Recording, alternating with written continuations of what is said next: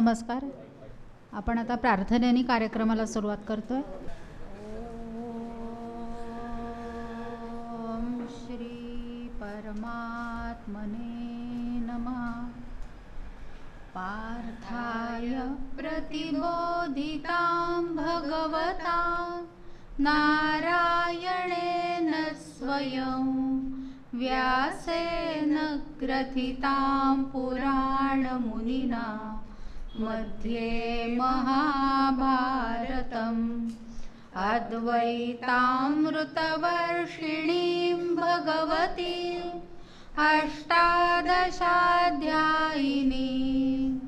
अम्ब त्वामनुसन्दधामि भगवद्गीते भवद्वेषिणी नमोऽस्तु ते व्यासविशालबुद्धे फुल्लारविन्दायतपत्रनेत्र येन त्वया भारततैलपूर्णः प्रज्वालितो ज्ञानमयप्रदीपः प्रपन्नपारिजाताय स्तोत्रवैत्रैकपाणये ज्ञानमुद्राय कृष्णाय गीतामृतदुहे नमः। वसुदेवसुतं देवं कंसचाणूरमर्दनं। देवकी परमानन्दं। कृष्णं वन्दे जगद्गुरुं। मूकं करोति वाचालं। पङ्गुल्लङ्घयते गुरुं। यत्कृपातमहं वन्दे। परमानन्दमाधवं नारायणं नमस्कृत्य नरैश्चैव नरोत्तमं देवीं सरस्वतीं व्यासन् ततो जयमुदीरयेत्। ॐ श्रीपरमात्मने नमः। नमस्कार।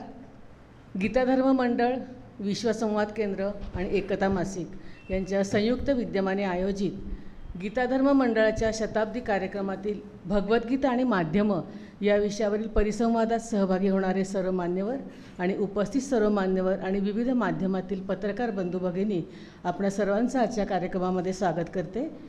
आजच्या परिसंवादाच्या निमित्तानं आपल्याला प्रमुख मार्गदर्शन लाभणार आहे.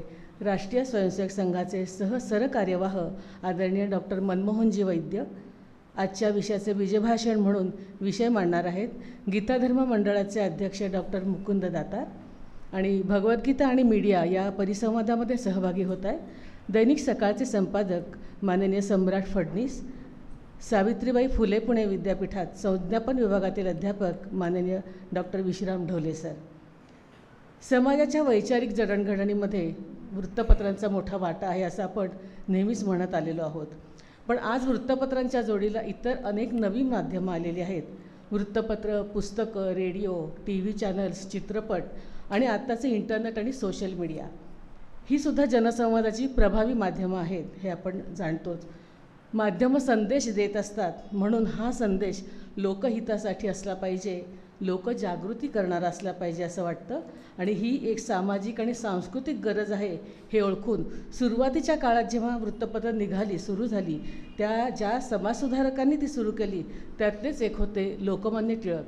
त्यांच्यापासूनच प्रेरणा घेऊन गीता रहस्य प्रणित निष्काम कर्मयोगाचे तत्त्वज्ञान म्हणजे भारतवर्षीय राष्ट्रधर्माची तत्त्वदृष्टी हे लोकांच्या मनात रुजवण्यासाठी एकोणीसशे चोवीस साली स्थापना झालेलं हे गीताधर्म मंडळ तब्बल नव्याण्णव वर्ष सातत्याने कार्यरत आहे. या मंडळाच्या शताब्दीच्या निमित्ताने भगवद्गीता आणि माध्यमं या विषयावर चर्चा आणि विचार करण्यासाठी आजचा हा परिसंवाद आयोजित केलेला आहे. यानंतर प्रास्ताविक आणि प्रमुख अतिथींचा परिचय करून देतील एकता मासिकाचे अध्यक्ष रवींद्र घाटपांडेजी.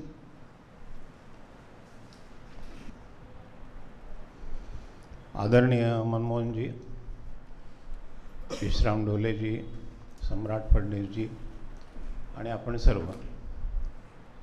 गीता धर्ममंडळाचे अनेक कार्यक्रम शताब्दीनिमित्त चालू होते. ठरवत होते. त्यावेळेलाच आदरणीय मुकुंद दातार यांची इच्छा अशी होती की मनमोहनजींनी या गीता धर्ममंडळाला भेट द्यावी. त्यामुळे मग आम्ही सगळे त्यांना विनंती केली आणि आज ते या ठिकाणी आलेले आहेत.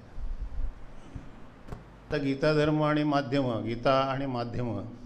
काही जणांनी प्रश्न विचारला की गीतेचा आणि माध्यमांचा काय संबंध? तर गीतेचा मा संबंध हा संजयापासूनच येतो कारण गीत संजय एका अर्थाने पत्रकारच होता. ज्याने सगळं गीतेचं आणि संपूर्ण महाभारताचं वृत्त धृतराष्ट्राला सांगितलं. त्यामुळे हा संयुक्तिक कार्यक्रम आहे एका अर्थाने. त्यामध्ये मग बाकीच्यांनी सहभागी व्हावं म्हणून त्यामुळे विश्वसंवाद केंद्र आणि एकता मासिक यांच्याशी चर्चा झाली. आणि मग ठरलं की हा कार्यक्रम आपण करायचा. तो आज या ठिकाणी संपन्न होतो आहे कुठलीही संस्था ज्या वेळेला सुरू होते त्यावेळेला ती छोटं रूप असतं. म्हणजे याच्या एका दृष्टीने म्हणायचं जाईल तर ऐसे रास्ते से गुजरे हम बडी मुश्किल से मंजिले रूबरू हो गई असं म्हणतात. त्यामुळे छोटेखानी असलेली संस्था ही नेहमी जेव्हा चालत राहतात चरैवती चरैवती त्यावेळेला त्या आणि त्यांना मिळणारं नेतृत्व कार्यकर्ते त्यांचं असलेलं दूरदृष्टी त्यांचं असलेलं विजन यामुळे संस्था मोठ्या होतात. गीता धर्म मंडळाचं जर आपण पाहिलं तर आदरणीय दातार सर ज्यावेळेला अध्यक्ष झाले तेव्हापासून त्याची जी चढती कमान चालू आहे त्याबरोबर विनायताई मे मेंदळे आहेत कोंड कोंडवेकर आहेत त्यांचे अनेक सहकारी आहेत. हे सगळे अतिशय तत्परतेने आणि पूर्ण वेळ देऊन काम करत आहेत त्यामुळे गीता धर्ममंडळाचं नाव आणि आता मध्ये जो गीता पाठ झाला कार्यक्रम त्यामुळे ज संपूर्ण जगामध्ये एका अर्थाने गीतेचं गीता धर्ममंडळाचं नाव हे आता गाजतं आहे वर्धिष्णू होतं आहे त्यामुळे आजचा हा कार्यक्रम आपल्याला एक आदर्श आनंददायी आणि चांगल्या पद्धतीने ऐकायला मिळेल. आणि नेमकं गीता आणि माध्यमं याचा संबंध काय? याचा येईल. मुख्यतः गीता धर्ममंडळाचा संबंध तर टिळकांपासून आहे. टिळकांनी गीता रहस्य त्यांचंच कार्य पुढे चालवायचं हे गीता धर्ममंडळाचं मुख्य ध्येय आहे. गवी केतकर हे देखील एका अर्थाने मी पत्रकार होते तरुण भारतचे संपादक होते. त्यामुळे एका पत्रकारांनीच सुरू केलेलं हे एका अर्थाने हे आंदोलन आहे. आणि ते पुढे चालू आहे. आणि या सगळ्यांच्या मार्गदर्शनाखाली ते जोरात चालू आहे. विश्वसंवाद केंद्राचं स्थापना देखील आपल्याकडे पुणे एकोणी एकोणीसशे चौदा साली झाली. मनमोहनजींच्या आग्रहामुळे आणि मार्गदर्शनामुळे आपण पुण्यात विश्वसंवाद केंद्राची स्थापना केली. एकता मासिक पंच्याहत्तर वर्ष झाली. पूर्ण झाली त्याला गेल्या वर्षी. तेही अशा पद्धतीने चालू आहे. त्यामुळे अशा सगळ्या संस्था एकत्र येऊन जेव्हा काम क कार्यक्रम करतात त्यावेळेला ते निश्चितपणे काही मार्गदर्शक असू शकतो. आणि त्यामुळे आजचा हा कार्यक्रम आहे. या कार्यक्रमाला मनमोहनजी लाभलेले आहेत आपल्याला. मनमोहनजी हे मूळचे नागपूरचे स्वयंसेवक. मागो वैद्य आपल्या सगळ्यांना माहिती आहेत. त्यांचे चिरंजीव. B S B S C पदवी मिळाल्यानंतर सॉरी एम एस सी पदवी मिळाल्यानंतर पी एच डी त्यांनी न्यूक्लिअर केमिस्ट्रीमध्ये केली. त्यानंतर काही दिवस ते प्राध्यापक होते. त्यानंतर मग एकोणीसशे त्र्याऐंशी साली त्यांनी प्रचारक म्हणून ते निघाले. सुरुवातीला दोन वर्ष ते विश्वसंवाद विश्वविभागाचे विश्व विभागाचे प्रचारक होते. त्यानंतर मग दोन हजार नऊपर्यंत गुजरात प्रांताचे प्रांत प्रचारक म्हणून त्यांच्याकडे जबाबदारी होती. दोन हजार नऊ ते दोन हजार अठरा या कालावधीमध्ये ते अखिल भारतीय प्रचार प्रमुख म्हणून त्यांची जबाबदारी त्यांच्यावर होती. त्यांच्या काळामध्ये प्रचार विभाग हा एका अर्थाने खूप फुलला वर्धिष्णू झाला. देशभर अनेक केंद्र विश्वसंवाद केंद्राची निर्माण झाली. राष्ट्रीय विचारांचा प्रचार करायचा ही त्यांची मुख्य भूमिका यातली होती. आणि त्या अनुषंगाने अठरापर्यंत त्यांनी काम केलं. पुढच्या काळामध्ये त्यांना अठरानंतर ते अखिल भारतीय सरसह कार्यवाह म्हणून त्यांच्यावर जबाबदारी आहे. अतिशय चिंतनशील व्यक्तिमत्व असं त्यांचं ख्याती आहे.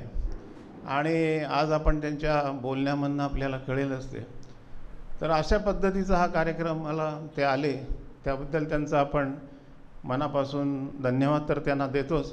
पण त्यांचा या निमित्ताने सत्कार करूया अशी विनंती दातार सरांना करतो.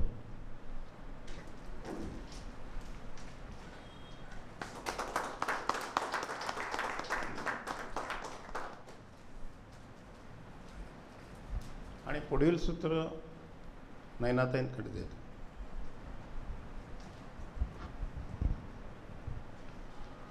यानंतर आदरणीय मनमोहनजी वैद्य यांना मी विनंती करते की आजचे परिसंवादातले सहभागी वक्ते आहेत त्यांचा सत्कार आपण करावा. सम्राट फडणीस मनमोहनजींच्या हस्ते.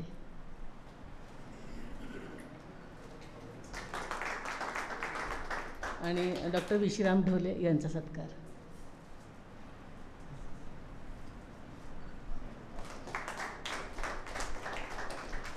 धन्यवाद सर. यानंतर गीताधर्म मंडळाची माहिती आणि कामाचा परिचय करून देतील गीताधर्म मंडळाच्या कार्यवाह विनयाते मेहेंदळे. आदरणीय मनमोहनजी मंचावरील मान्यवर आणि आपण सर्व उपस्थित. गीता धर्मडाचा शंभर वर्षाचा इतिहास काही चार पाच मिनटात सांगता येणार नाही पण मी थोड्याच गोष्टी सांगते. मगाशीच त्यांनी सांगितल्याप्रमाणे सदाशिव शास्त्री भिडे आणि ग केतकर यांनी मंडळाची स्थापना शंभर वर्षापूर्वी केली. पत्रकार या नात्याने सर्वात जास्त लेख आत्तापर्यंत इतिहास असेल गवी केतकरांनी गीतेवर लिहिलेले आहेत. आणि सदाशिव शास्त्री वेडांनी त्या काळी लाहोर कराचीपर्यंत व्याख्यानांच्या रूपात त्यांनी गीतेचा प्रसार केला होता. पण या संस्थेचं स्वरूप असं जे आलं तर त्यांनी पुण्याचे पहिले संघचालक विनायकराव आपटे यांना बोलवून घेतलं आणि त्यांना सांगितलं याचं रूप द्या. मग ते आल्यानंतर या संस्थेचं स्वरूप म्हणाल ते गीतार मंडळाला आलं. गीतार मंडळाची एका खोलीत सुरुवात झालेली आज आपण बघता आहात. गेल्या शंभर वर्षात तीन मजली एवढी मोठी वास्तू आहे. आमचं ग्रंथालय आहे आणि त्याला संशोधन ग्रंथालयाची मान्यता मिळालेली आहे. याशिवाय आमच्याकडे गेली पस्तीस वर्ष जवळजवळ इथे दररोज व्याख्यान प्रवचन भाषण असतं. आणि हे दैनंदिन ज्ञानसत्र चालू आहे. आणि त्याला कधी खंड पडलेला नाही हे मुद्दाम सांगते. कारण हल्लीकडे सगळ्या या गोष्टी बंद पडत चाललेल्या आहेत म्हणून. आमच्यातर्फे पत्रद्वारा अनेक परीक्षा घेतल्या जातात. त्याच्यात ज्ञानेश्वरी तुकाराम गाथा आणि गीतेवरच्या तर आहेतच आहेत. याशिवाय टिळक महाराष्ट्र विद्यापीठाच्या स बरोबर आमचा गीता रहस्य प्रबोध नावाचा एक अभ्यासक्रम आहे. एक वर्षाचा तो अभ्यासक्रम असतो आणि तो गेली चार वर्ष व्यवस्थित चालू आहे. याशिवाय पत्रद्वारा अनेक परीक्षाही घेतल्या जातात. गीता संथाही द्यावी शास्त्रशुद्ध पद्धतीने. या दृष्टीनं बत्तीस पस्तीस वर्षापूर्वी जवळजवळ इथे गं गीता संथा वर्ग सुरू झाले. आणि विशेष म्हणजे सगळे संथा वर्ग निशुल्क आहेत. आज दीडशेच्या वर या संथा वर्गाच्या सगळ्या जी संख्या आहे आणि आमचे सगळे शिक्षक शिकवतात. परवाचा झालेला दहा हजार लोकांचा गीतापाठ या सगळ्या लोकांच्या श्रमाचं फळ असं म्हणायला हरकत नाही. आणि परस्वर्ण पद्धतीनं ही गीता शिकवली जाते. शृंगेरीच्या विद्यापीठ शृंगेरीला जर तुम्ही शास्त्रशुद्ध पद्धतीने आणि कंठस्थ संपूर्ण गीता म्हटली तर एकवीस हजार रुपयाचं बक्षीस मिळतं. आज सांगायला अभिमान वाटतो गीता शिकून गेलेल्या अकराशे लोकांना हे बक्षीस मिळालेलं ही खूप मोठी गोष्ट आहे. आणखीन मी एक महत्त्वाच्या गोष्टीकडे मुद्दा मुशाला कारण आज पत्रकार मंडळी आहेत. गीता दर्शनचा आणखीन एक मोठा उपक्रम म्हणजे गीता दर्शन मासिक. आज सगळी मराठी मासिकं जी धडाधड बंद पडताना बघतो त्या पार्श्वभूमीवर पंचावन्न वर्ष आमचं हे मासिक चालू आहे. एकोणीसशे एकोणसत्तर साली गीता धर मासिक जेव्हा निघालं तर त्याचं नाव दिलं होतं विश्व हिंदू परिषद संस्थापक दादासाहेब आपटे यांनी. गीतादर्शन नाव दिलं होतं त्यांनी. आणि पहिल्यांदाच असं ठरलं होतं की अत्यंत सोप्या भाषेत सामान्य माणसाला कळेल अशा भाषेतच लेख असले पाहिजेत आणि प्रत्येकाला ते घेता आलं पाहिजे. हे त्या काळामध्ये वार्षिक वर्गणी पाच रुपये होती. पंचावन्न वर्षांनी आज ती दीडशे रुपये झाली तरी तेवढ्याच किमतीत आम्ही आज देतो आहोत. दोन तीन हजारावर आमचे वर्गणीदार आहेत. आणि मधल्या काळामध्ये ही संख्या दहा हजारावर सुद्धा गेली होती. पत्रकारांसाठी एक एक गोष्ट मुद्दा मी आज सांगेन. की एक ऑगस्टला पंतप्रधान मोदीजी जेव्हा पुण्यात आले होते तेव्हा मी त्यांना भेटलो होतो आणि शताब्दी महोत्सवाला आपण यावं अशी त्यांना विनंती करायला गेलो होतो. पूर्ण दहा मिनटं त्यांनी आमच्या मंडळाची सगळी माहिती घेतली. म्हणजे आमच्या दृष्टीने फार मोलाची गोष्ट ती होती. आणि तेव्हा त्यांना आम्ही सांगितलं की गीतापाठ आम्ही करणार आहोत. तेव्हा त्यांनी पुण्यामध्ये दहा हजार लोक इकट्ठा होऊ शकते. आम्ही जोरात सांगितलं तर होऊ शकते.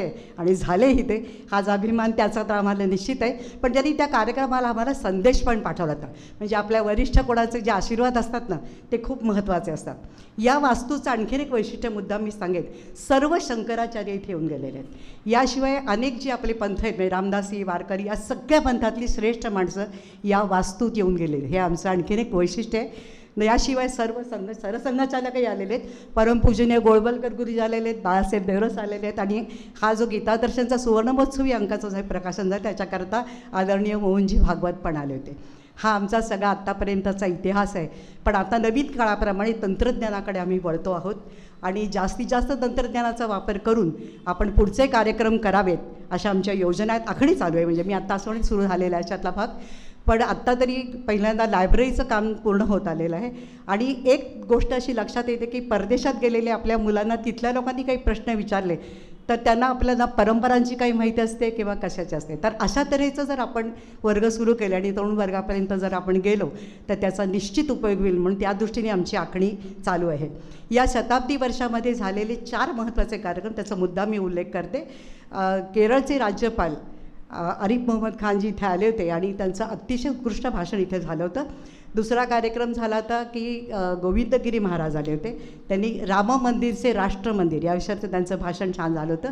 आणि महाराष्ट्रामध्ये ज्या गीतेवर काम करणाऱ्या संस्था आहेत अशा पन्नास संस्थांचे प्रतिनिधी इथे आले होते. आणि त्यांचं एक शिबिर आपण इथे दोन दिवसाचं घेतलं होतं. त्यालाही गोविंदगिरी महाराजांचं मार्गदर्शन मिळालं होतं. याशिवाय कीर्तनकारांचं पण असंच एक आपण मेळावा घेतला होता. नंतर भगवान श्रीकृष्ण आणि स्त्री व्यक्तिरेखा या विषयावर साहित्य संमेलनाच्या माजी नगरा माजी अध्यक्षा डॉक्टर अरुणा ढेरे यांचं एक सुरेख भाषण झालं होतं. आणि बऱ्याच जणांनी त्याच्याबद्दल सांगितलं की आमच्या मनातले अनेक गैरसमज त्यामुळे दूर झाले. तर हे तीन कार्यक्रम हा मोठा झालेला परवाचा गीता माहित्य आणि त्याच पठडीतला आजचा हा कार्यक्रम आहे. माझ्या इतकेच म्हणजे आपण तर सगळे उत्सुक आहात मी पण फार उत्सुक आहे हा कार्यक्रम पुढचा ऐकण्याकरता. त्या जास्त न बोलता मी आपली रजा घेते. नमस्कार.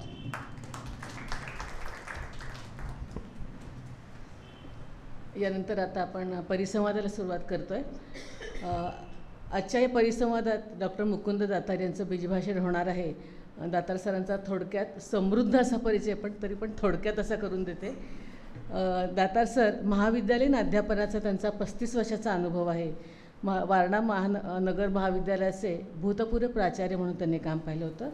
संत साहित्याचे ज्येष्ठ अभ्यासक संत साहित्य अध्यात्म विचार आणि सांस्कृतिक चिंतन याविषयी त्यांची जवळजवळ वीस पुस्तकं प्रसिद्ध आहेत. त्यापैकी संत कवी एकनाथ तुका म्हणे वारकरी संप्रदायाच्या प्रस्थांतरी वारकरी विश्व आणि समर्थ रामदास भगवद्गीता काय शिकवते संस्कृती आणि सांस्कृतिक आणि संतांची सार्थ भारुडे ही विशेष पुस्तकं.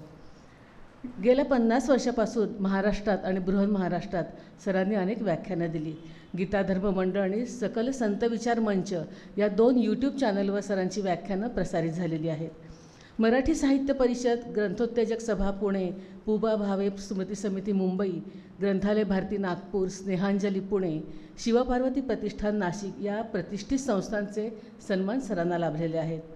सावित्रीबाई फुले पुणे विद्यापीठातील संत ज्ञानदेव अध्यासनाचे प्रमुख म्हणून सरांनी वीसशे अठरा ते वीसशे एकवीस या काळामध्ये काम केलं. शताब्दी सन्मुख असलेल्या गीताधर्म मंडळाचं सन वीसशे दहापासून सर अध्यक्ष आहेत. तसंच कोथरूडच्या सकल संत विचार मंचाचे सुद्धा सर अध्यक्ष आहेत. वीसशे बारापासून गीतादर्श मासिकाचे सर संपादक सल्ला सल्लागार संपादक म्हणून काम बघत आहेत आणि आजच्या विषयाचं बीजभाषण त्यांनी करावं अशी मी त्यांना विनंती करते. आदरणीय डॉक्टर मनमोहनजी त्याचबरोबर माननीय सम्राटजी माननीय विश्रामजी आणि आपण सर्व पत्रकारितेच्या क्षेत्रात अनेक वर्ष काम केलेले आणि वैचारिक महाराष्ट्राला काही एक दिशा दाखवून दिलेले सर्व पत्रकार बंधू भगिनी. परिसंवादात एक बीज भाषण प्रारंभी असतं आणि त्या बीज भाषणाच्या दिशेनं पुढचा परिसंवाद जातो. आजच्या परिसंवादात मात्र तशी स्थिती नाही आहे. बीज भाषण हा शब्द जरी असला तर ते बीज भाषण गीता धर्म मंडळाची भूमिका काय आहे? गीतेकडे बघण्याची ही मांडण्याची. आणि त्याच्या प्रकाशात त्याच्या संदर्भात तिन्ही मान्यवर मंडळी आपापले विचार व्यक्त करतील. म्हणजे बीज भाषण याचा जो नेहमीचा अर्थ आहे तो थोडा आपण बदलून घेतो आहोत. हे प्रारंभीच लक्षात घेऊया. आणि हे बीज भाषण मी यथाशक्ती आणि मंडळाची जी भूमिका आहे त्याच्यातून मांडतो आहे त्याच्यात काही उणंपुरं असेल तर ती जबाबदारी माझी आहे हे आपण सर्वांनी लक्षात घ्या.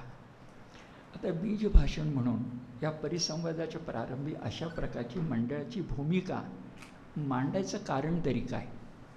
कारण असं की गीता धर्म मंडळ हा शब्द उच्चारला की अनेकांची समजूत अशी होते गीता धर्म मंडळ. म्हणजे तीन शब्द वेगळे आहेत. गीता धर्म मंडळ. पण या शताब्दी संपन्न गीता धर्म मंडळाचं नाव गीता धर्म मंडळ आहे. जसं पलीकडं भारत इतिहास संशोधक मंडळ आहे. भारताच्या इतिहासाचं संशोधन करणारी जी मंडळी त्यांचं ते मंडळ आहे. तसं गीता धर्म मानणारे जे लोक त्या गीता धर्माचा प्रचार करू इच्छिणारे जे लोक त्यांचं म्हणजे गीता धर्मी मंडळींचं हे मंडळ आहे. आता प्रश्न असा की गीता धर्म असं काही वेगळा धर्म आहे का? तर तो सनातन धर्मच आहे. नवनीत रूपात तो गीता धर्मात आला आहे पण गीता धर्माचा आचार आणि विचार आहे त्याच्यामध्ये वैयक्तिक आणि सामाजिक नीतिमत्ता आहे. त्याच्यामध्ये देशाचा विचार आहे राष्ट्राचा विचार आहे. ह्या सगळ्या भूमिकेतून लोकमान्य टिळकांनी गीता रहस्य या ग्रंथाची निर्मिती केली. निष्काम कर्मयोग हा शब्द आपल्याला माहिती आहे पण त्या कर्मयोगाची चतुसूत्री कर्मण्यवाधिकार असते मा फलेषु कदाचन मा कर्मफल हेतुर्भूर माते संगोस्त्व कर्मणी ह्याच्यामध्ये कर्मयोगाचे चार पैलू आहेत. ते गीता धर्माचा आचार आणि विचार सांगतात. माझ्या बोलण्यात पुढा संदर्भ येईल? आणि म्हणून लोकमान्यांनी गीता रहस्य या ग्रंथाच्या उपसंहारात त्यांचं संजीवनी भाष्य जो दोनशे पंधरा पानाचा आहे त्यातल्या त्या पंधराव्या पानावर स्वच्छ शब्द वापरला आहे की हा गीता धर्म आहे हा गीतोक्त धर्म आहे हा व्यापक आहे मनुष्य जातीचा आहे सर्वसमावेशक आहे पण त्याचबरोबर तो भरतखंडाचा धर्म आहे. जय हिंद आणि जय जगत आजच्या भाषेत जय हिंद आणि जय जगतमध्ये जी भूमिका आहे दुहेरी भूमिका आहे द्विमुखी भूमिका आहे अंग प्रत्यंगाची भूमिका आहे तो गीता धर्म शब्द लोकमान्यांना अभिप्रेत आहे. तर गीता धर्म शब्द लोकमान्यांचा आहे. त्यांची ती संज्ञा आहे. गीतारस ग्रंथा ग्रंथात शेवटी त्यांनी स्पष्टपणे एक परिच्छेद त्याटी लिहिला आहे पण आधीसुद्धा गीता धर्माचा उल्लेख आहे. आता मग बीज भाषणात भूमिका काय? तर भूमिका अशी की या ठिकाणी जे छायाचित्र आहे ते प्रज्ञाचक्षू सदाशिवशास्त्री भिडे यांचं आहे. सांगलीजवळ हरिपूर म्हणून गाव आहे. त्या गावचे ते. वयाच्या आठव्या वर्षी देवीच्या साथीमध्ये डोळ्यात देवी पडल्या. आणि आठव्या वर्षी त्यांची दृष्टी गेली. त्यानंतर या व्यक्तीनं आठव्या वर्षापासून वयाच्या साठी वर्षापर्यंत गीता धर्माचा प्रचार तर केलाच शताब्दी स्थापन केली. पण स्वतः गीता वाचस्पती झाले वेदांत वाचस्पती झाले स्वतः संस्कृत गुरुकुल पाठशाला चालवल्या. गीता धर्माचा प्रसार अगदी हैदराबाद कराचीपर्यंत जाऊन केला. चोवीस साली गीता धर्मंड स्थापन केलं. आणि मुख्य गोष्ट लोकमान्यांच्या गीतारहस्य ग्रंथाला कोणातरी संस्कृत पंडिताचा आधार पाहिजे होता. गीता रहस्य ग्रंथाला का नाही म्हटलं थोडा शंकराचार्याने विरोध होता काही थोडा. अशा वेळा ज्या शास्त्री पंडिताचा परंपरेने शिकलेल्या माणसाचा आधार पाहिजे होता तो आधार सदाशिव शास्त्री भिडे यांनी दिला. गोष्ट एकोणीसशे पंधरा. ग्रंथ प्रकाशित होण्याच्या पूर्वी भिडे शास्त्रींना लोकमान्यांनी बोलावून घेतला होता. आणि तीन ते चार दिवस दोघांची चर्चा झाली आणि भिडे शास्त्रींनी लोकमान्यांचे आठ अर्थ गीता रहस्यातले जे परंपरेनं चालत आलेल्या शास्त्राला संमत नाहीत ते वगळा असं सांगितलं. बाकी सर्व मान्य आहे प्रवृत्ती मार्गच आहे निवृत्ती मार्ग नाही. लोकमान्यांचा लाडका शब्द सांगायचा तर यजमान कोण आहे गीतेच्या घरातला? यजमान कर्मयोग आहे. आणि पाहुणे कोण आहेत? तर पाहुण्या भक्तियोग आहे ज्ञानयोग आहे ध्यानयोग आहे अगदी समत्व योगसुद्धा आहे. पण गीतेचा योग जर कुठला असेल तर तो कर्मयोग तो पुरुषार्थ प्रधान आहे. आचार विचार त्याचा आहे. जय हिंद जय त्याच्यामध्ये आहे. हा विचार बरोबर आहे हे ठामपणे एका पंडितानं पाठिंबा दिला. ते आणि त्यांनीच नंतर लोकमान्यांची इच्छा चार वर्षानं पुरी केली. लोकमान्य वीसला गेले. एकोणीसशे चोवीसमध्ये लोकमान्यांचे नातू मुलीचा मुलगा गवी केतकर पत्रकार महर्षी हे कार्यवाह झाले. ते संस्थापक झाले. आणि त्यांनी तेव्हापासून एकोणीसशे चोवीसपासून आजपर्यंत गीता धर्म त्याचा प्रसार. पुढचा टप्पा असा की लोकमान्यांनी ज्याला गीता धर्म म्हटलं त्याला भिडे शास्त्रींनी राष्ट्रधर्म म्हटलं. गीता धर्म हा संस्कृतीचा धर्म आहे. गीता धर्म भरतखंडीय धर्म आहे. पण हा धर्म राष्ट्रधर्म आहे आणि गीतेच्या अठरा अठ्ठ्याहत्तरमध्ये शेवटच्या श्लोकामध्ये यत्र योगेश्वर कृष्णो यत्र पार्थो धनुर्धरा त्याच्यानंतर मी बोलतो याच्यामध्ये विश्व कल्याणही आहे आणि राष्ट्र कल्याणही आहे. त्याच्यात अभ्युदय आहे आणि त्याच्यात निश्रेयसही आहे. त्यामध्ये व्यष्टी पण आहे त्याच्यामध्ये समष्टी पण आहे. हे सगळं अठरा अठ्ठ्याहत्तरमध्ये आहे. असं गीताधर्म हा राष्ट्रधर्म म्हणून स्वतंत्र पुस्तक लिहून गीता रहस्य दीपिका लोकमान्यांच्या पुस्तकाचं नाव गीता रहस्य. त्यानंतर पाच वर्षांनी स्वतः भिडेशास्त्रींनी पुस्तक लिहिलं. ज्याचं नाव गीता रहस्य दीपिका. आणि त्यात त्यांनी हे प्रमेय मांडलं की गीता धर्म हा राष्ट्रधर्म आहे. हा धर्म अन्य रूढ उपासना पंथांच्या विरोधी नाही. उपासना पंथ कुठलाही असू दे. पण भरतखंडाचा धर्म या देशाचा धर्म भूमीचा धर्म अभ्युदयाचा धर्म निश्रेयसाचा धर्म हा राष्ट्रधर्म असतो आणि गीता धर्म हा राष्ट्रधर्म आहे. ही ती भूमिका आहे. आता मग आम्ही मंडळी जी पुढं काम करतोय. ते काम करताना गीता धर्म आणि राष्ट्रधर्म हा विषय मांडण्याचं काम मी माझ्यासारखे पाच सहा जण आहेत. आम्ही महाराष्ट्रात करत असतो. आणि आम्ही वाटून घेतलं आहे की गीता धर्म हा राष्ट्रधर्म जर असेल तर लोकांना पटवून देताना लोकांना पटायला कठीण जातं. गीता धर्म हा राष्ट्रधर्म आहे लोकांना पटवून देताना काही त्याचा पण पैलू पाडले तर चालतील का? आणि पैलू पैलू मांडत जर आपण गेलो पंचायतन पाच जणांनी पाच पैलू मांडले तर मग गीता धर्म राष्ट्रधर्म समग्र समोर येऊ शकेल. याच्यातून मी निवडलेला विषय बरीच वर्ष त्याचा अभ्यास करतोय तो मी थोडक्यात आपल्यासमोर मांडणार आहे. ते बीज भाषण आहे. काय?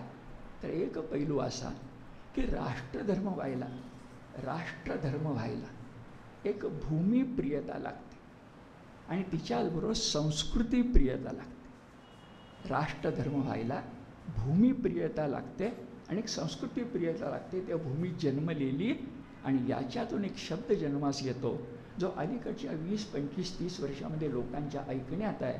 तो म्हणजे देशीवाद. आणि मग मी आता पैलू थोडक्यात माझ्या वेळेत मांडणार आहे.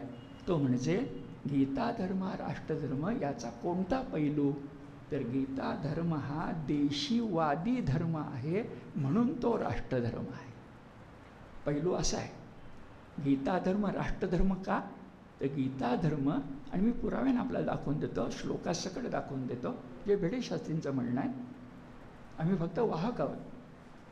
गीता धर्म हा देशीवादी ग्रंथ आहे. आता देशीवाद किंवा देशीयता हा शब्द उच्चारला तर अनेकांचा गैरसमज असा होतो. अभ्यासक काही म्हणतात की उत्तर अमेरिकेमध्ये नेटिव्हिझम म्हणून जो शब्द होता की जी एक परंपरा होती त्याचं मराठी का भारतीय रूप म्हणजे देशीवाद नेटिव्हिझम. पण अभ्यासातून लक्षात येतं की धारणा चुकीची आहे.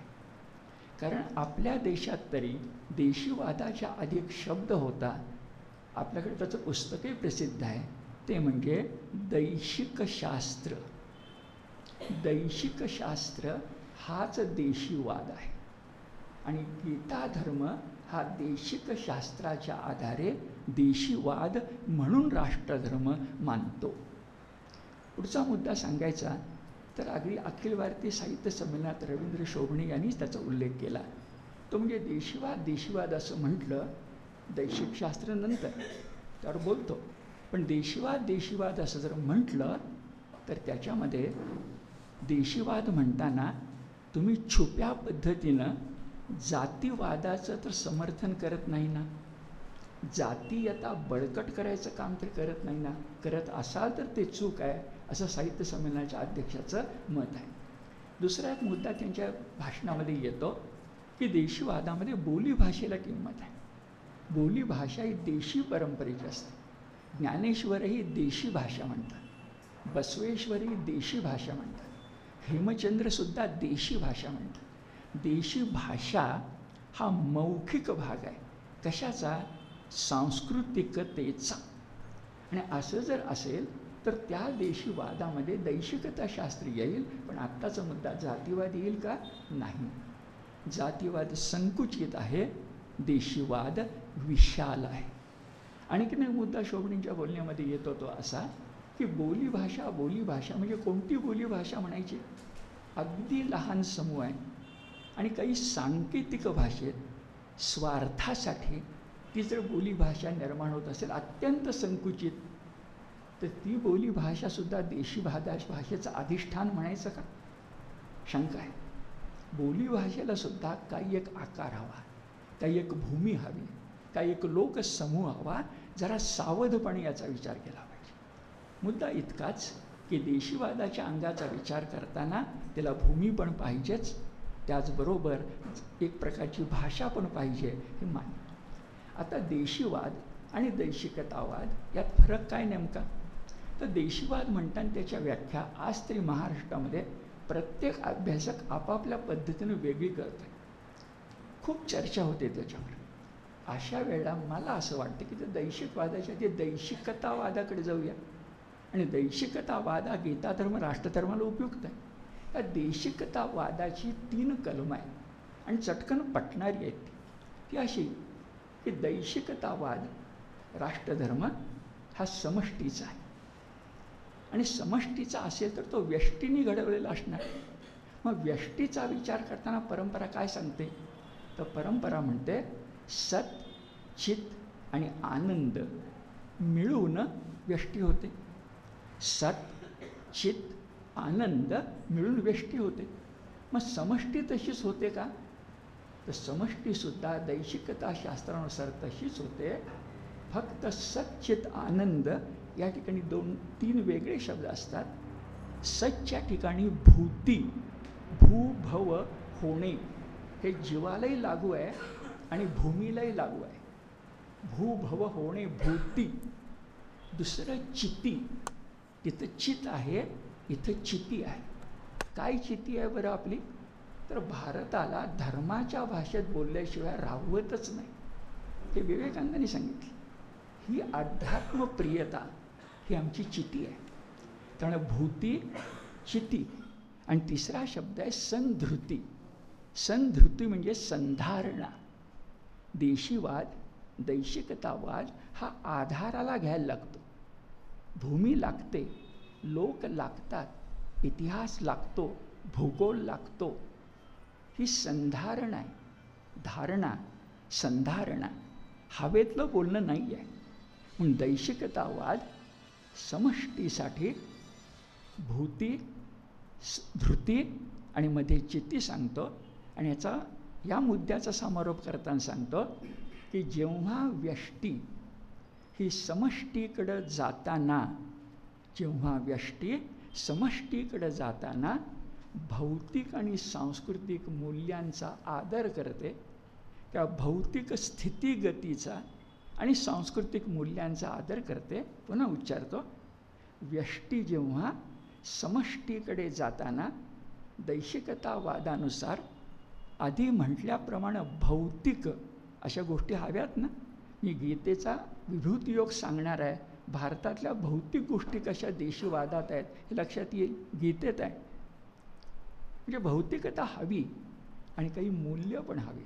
म्हणून व्यष्टीकडून समष्टीकडे जाताना भौतिकता आणि सांस्कृतिकता याचं संमिलन जेव्हा होतं तेव्हा दैशिकतावाद देशीवाद राष्ट्रधर्म जन्मास येतो.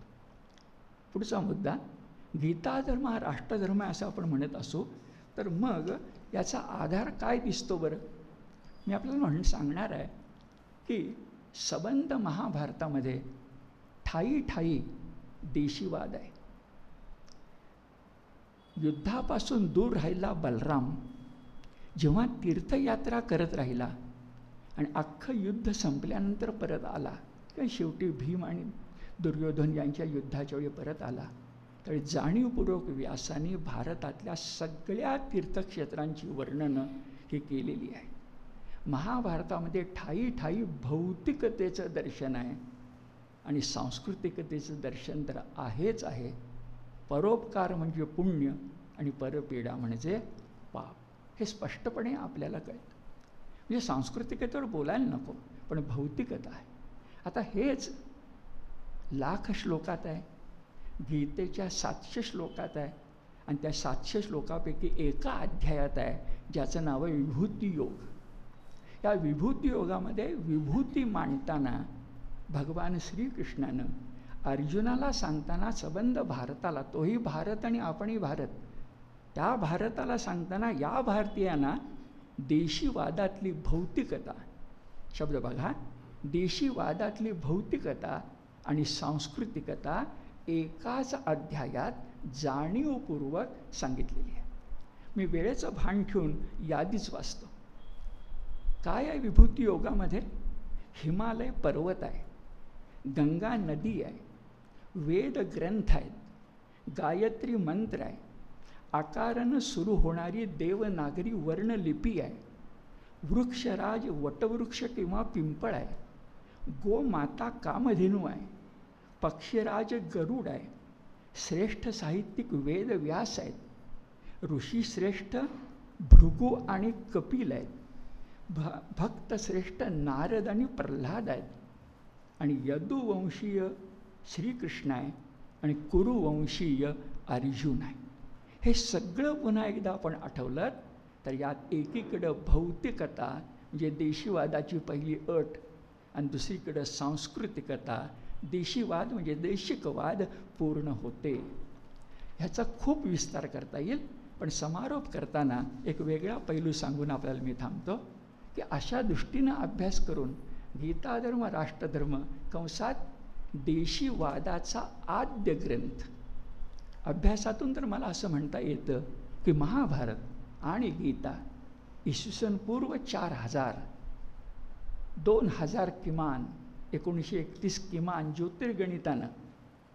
म्हणून आपण गीता जयंती साजरी करतो ज्योतिर्गणितानं. मग इसवीसनपूर्व पूर्व दोन हजार जर देशीवाद दैशिकता या देशात असेल तर जगाला ज्या अनेक गोष्टी आपण दिल्या तसं तुम्ही आज या देशीवादाला जरा तिखट शब्द वापरतो डोक्यावर घेऊन नाचताय. त्या देशीवादाचा जन्म आद्य ग्रंथ हा भारतवर्षामध्ये आहे हे ध्यानात घ्या. शेवट असा या देशीवादाचा गीताधर्म राष्ट्रधर्माचा आज वर्तमानकालीन उपयोग काय? आम्ही तरुण मुलांना बोलताना सांगतो आणि हाच माझा शेवटचा मुद्दा आहे की आज सगळेजण म्हणतात या देशामध्ये धर्म एकच संविधान धर्म. या देशामध्ये धर्म एकच घटना धर्म मान्य. मग त्या घटनाधर्मात संविधान धर्मात सजग आणि विवेकी नागरिकाची अपेक्षा केली आहे ना. नाहीतर आज माणसं सगळ्या मर्यादा ओलांडून जीभ सैल सोडतात ही संविधानाला अपेक्षित आहे का? संविधान जर लिहिलं गेलं असेल तर त्याच्यामध्ये नागरिक आहे प्रजा नाही. प्रजासत्ताक लोक नागरिक आहेत पण प्रजा म्हणजे राजाची प्रजा नाही. दर डोई एक मत आहे. असे जे संविधान ते कसं घडेल? शब्द तेच विवेकी आणि सजग. आणि मी गीतेतला एक श्लोक आपल्याला सांगतो की कुणीही तो श्लोक तसाच्या तसा आचरणात आणला तर भारतवर्षाचे संविधान त्याने शंभर टक्के अंमलात आणली. डॉक्टर आंबेडकरांना काय अपेक्षित होतं तो नागरिक घडला असं आपल्या लक्षात येईल. आकडा सांगतो म्हणजे नंतर आपल्याला पुन्हा बघता येईल. अठराव्या अध्यायातला सव्वीसावा श्लोक. एकीकडे तो सात्विक कार्यकर्त्याचा आहे एकीकडे तो स्थितप्रज्ञाचा आहे एकीकडे तो ज्ञानी भक्ताचा आहे पण मी त्याच्याकडे संविधानाचा नागरिक म्हणून बघतो. मुक्त संगो नहंवादी धृत्युत्साह समन्विता सिद्ध सिद्धो निर्विकारा करता सात्विक उच्चते हे सगळ्यांना पटेल की नाही? मी तरुणांना विचारतो तुम्हाला सात्विक हवं का रजोत्तम पाहिजे? कळतं सगळ्यांना रजोत्तम नको सात्विक हवं. मग सात्विक हवं ना सत्व हवं ना? सत्व शब्दाच्या अनेक अर्थात ब्रह्म असाही अर्थ आहे. आपण सत्व म्हणजे सात्विक म्हणतो ना त्या सत्वच्या एका अर्थात ब्रह्म असा अर्थ आहे. मग ब्रह्म मानणारा सात्विक करता हवा ना एवढे गुण आहेत. मुक्त संगो अनासक्त व्हा. निरहंकारी अहंकार टाकून द्या. धैर्यवान व्हा. इथं राष्ट्रधर्म आहे. इथं गीतेला धैर्य सांगायचं कारण काय? धैर्य कशाला? पुढे साहस शब्द आहे. अर्जुनाला गीता जर समजा संन्यास किंवा तत्त्वज्ञान सांगायला आली असेल तथाकथित भाषेत तर साहस कशाला म्हणेल?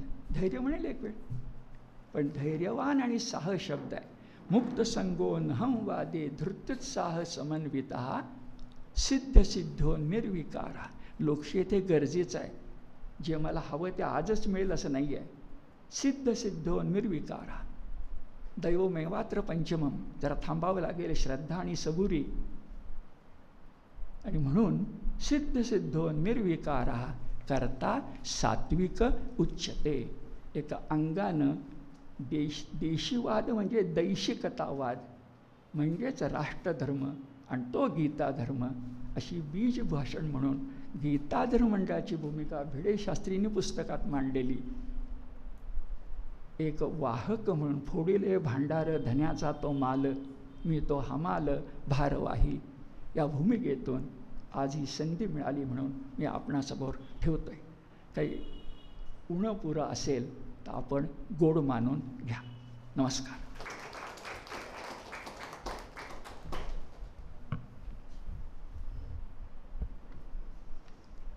यानंतर विषय मांडतील.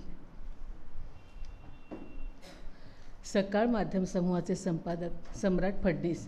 थोडक्यात परिचय करून देते. सम्राटजी पत्रकारितेमध्ये एकोणीसशे त्र्याण्णवपासून कार्यरत आहेत. विद्यार्थी बातमीदार ते संपादक असा त्यांचा प्रवास आहे. Sakal Lokmat Times of India या ठिकाणी त्यांनी पत्रकारिता केलेली आहे. त्यानिमित्ताने त्यांचा देशभर प्रवास देखील झाला आहे. तंत्रज्ञानाच्या रोजच्या जगण्यावरचा परिणाम हा त्यांचा विशेष अभ्यासाचा विषय आहे. माध्यमांचं स्वरूप पर्यावरण सामाजिक चळवळी धोरणांची निर्मिती हे सुद्धा त्यांचे अभ्यासाचे विषय आहे. माध्यम वि विषयाच्या विद्यापीठ आणि कॉलेज पातळीवरच्या अभ्यासक्रम निर्मितीमध्ये त्यांचा सहभाग आहे. एडिटर्स गिल्ड ऑफ इंडियाचे आजीवन सदस्यत्व पण त्यांचे आहे. सकाळच्या माध्यमातून world association of newspapers IFRA संस्थेच्या माध्यमांसाठीच्या अभ्यासक्रम आखणीमध्ये त्यांचा सहभाग आहे. त्यामुळे त्यांना विनंती करते की त्यांनी आपलं विषय मांडावा.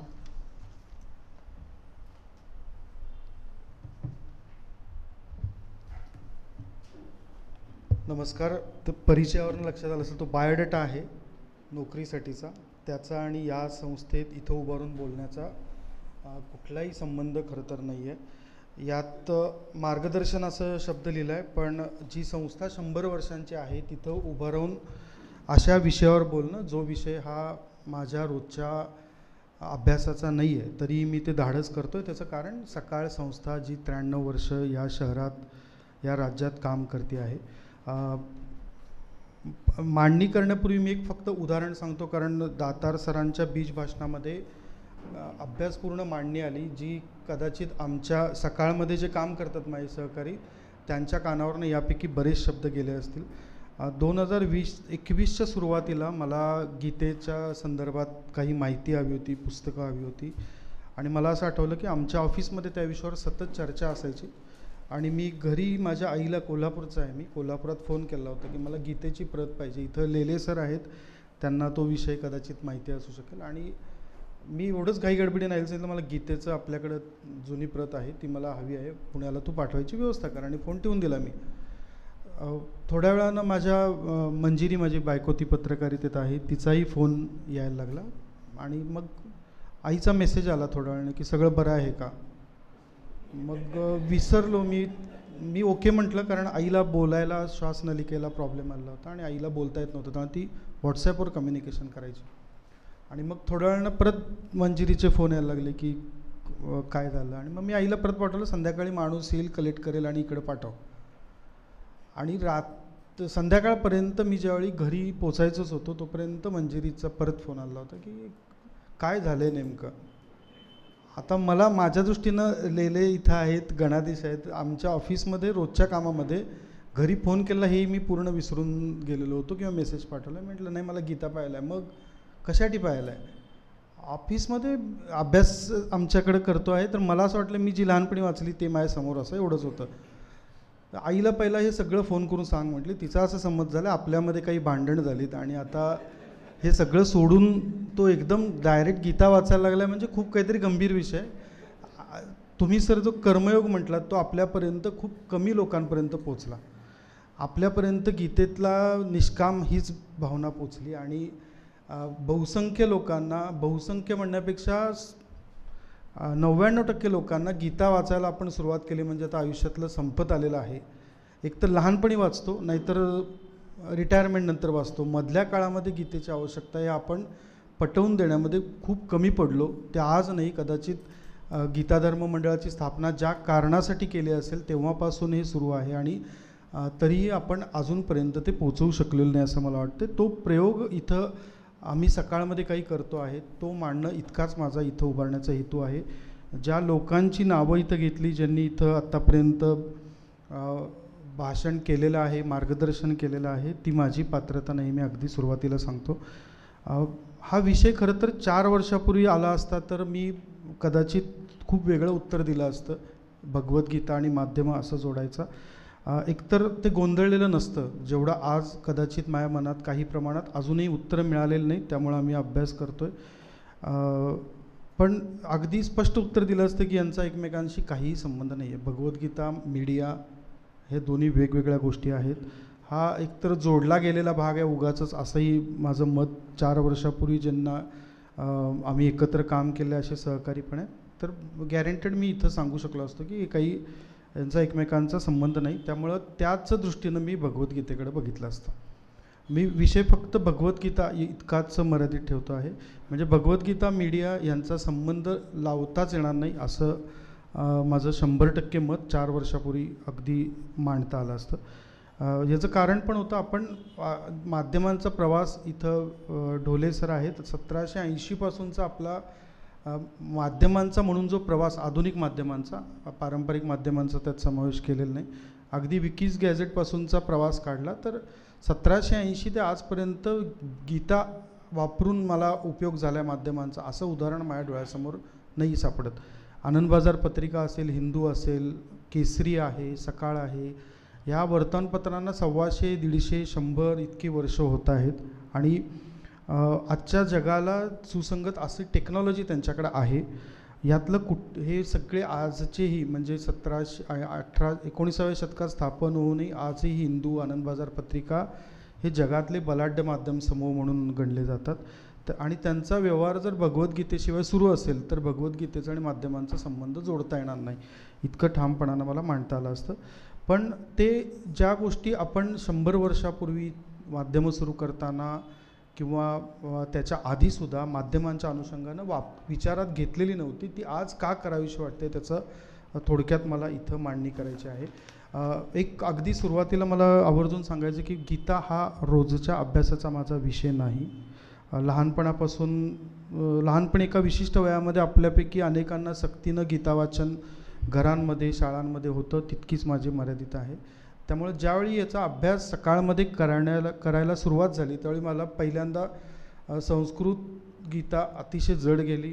त्याच्यापेक्षा चिन्मय मिशनची गीता ही जास्त सुटसुटीत इंग्रजीमध्ये आकलनाला सोपी गेली. त्यामुळं तिथं आमचा अभ्यास सुरू झाला. त्याच्यामागं इथल्या अनेकांना माहिती असेल पण ज्यांना माहिती नाही त्यांना मी आवर्जून सांगेन. मग आमचे सकाळ माध्यम समूहाचे एम डी आहेत अभिजित पवार. त्यांचा आग्रह होता की आपण गीतेचा गीतेचा अर्थ वर्तमानपत्रांमध्ये टी व्हीमध्ये आणि वेबसाईटमध्ये आपल्या इव्हेंट्समध्ये आणता येऊ शकेल का?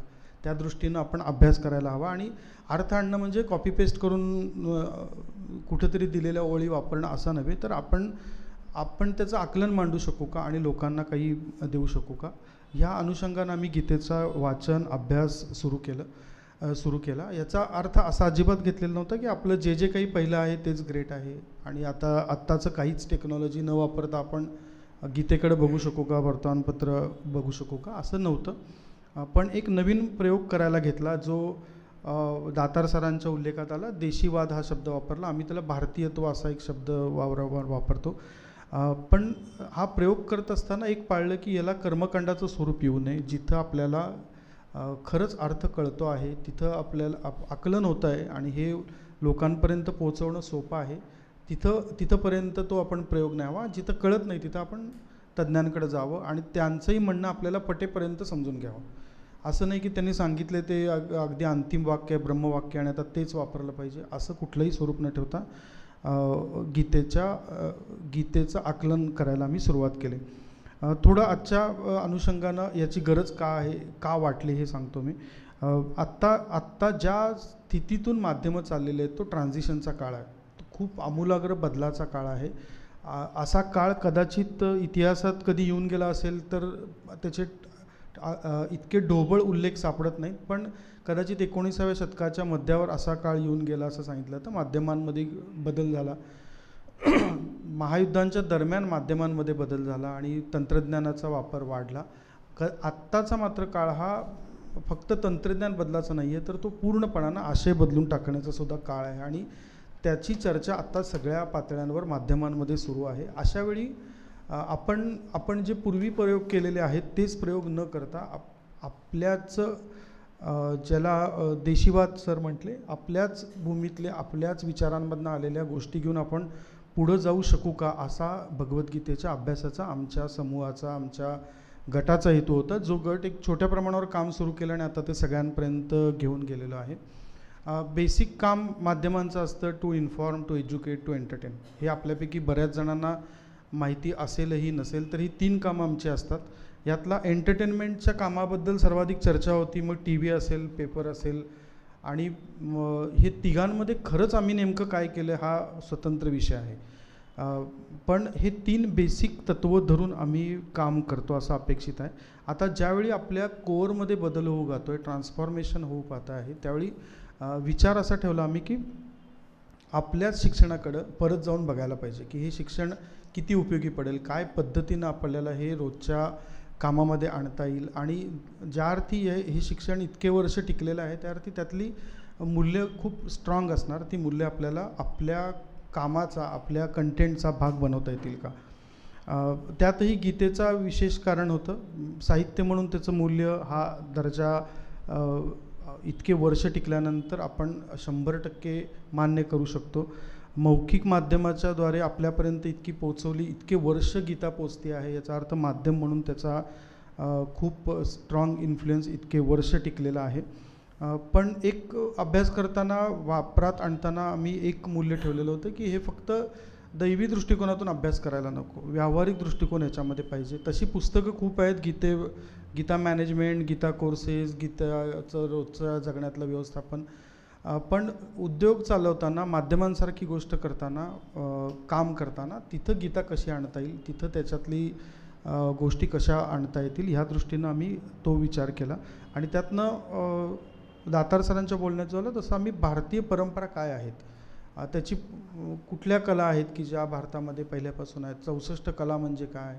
चौदा अभ्यास म्हणजे काय? इथंपासून या प्राथमिक गोष्टींचा अभ्यास सुरू केला. कदाचित तो वर्तमानपत्राच्या माध्यमांच्या कामाचा भाग असेल नसेल जो आत्तापर्यंत मला कधी शिकवला पण गेला नव्हता. पण त्या दृष्टीनं अभ्यास सुरू केला.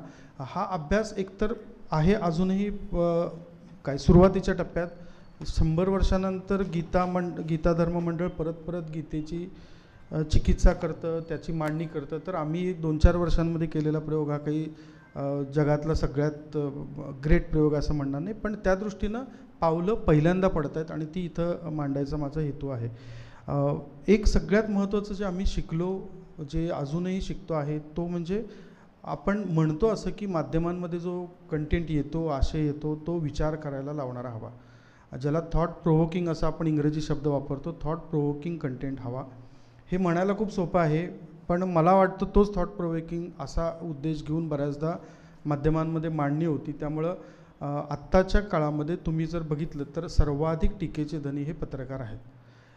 मग एकही असा पत्रकार राहत नाही की ज्याला कुठल्या तरी बाजूचं लेबल चिकटवलं जातं. तो बाजू बाजूचा आहे तो विरोधात आहे. आणि मग एक सरसकट असं विधान केलं जातं की माध्यमांची विश्वासार्हता माध्यमांनी गमावली आहे.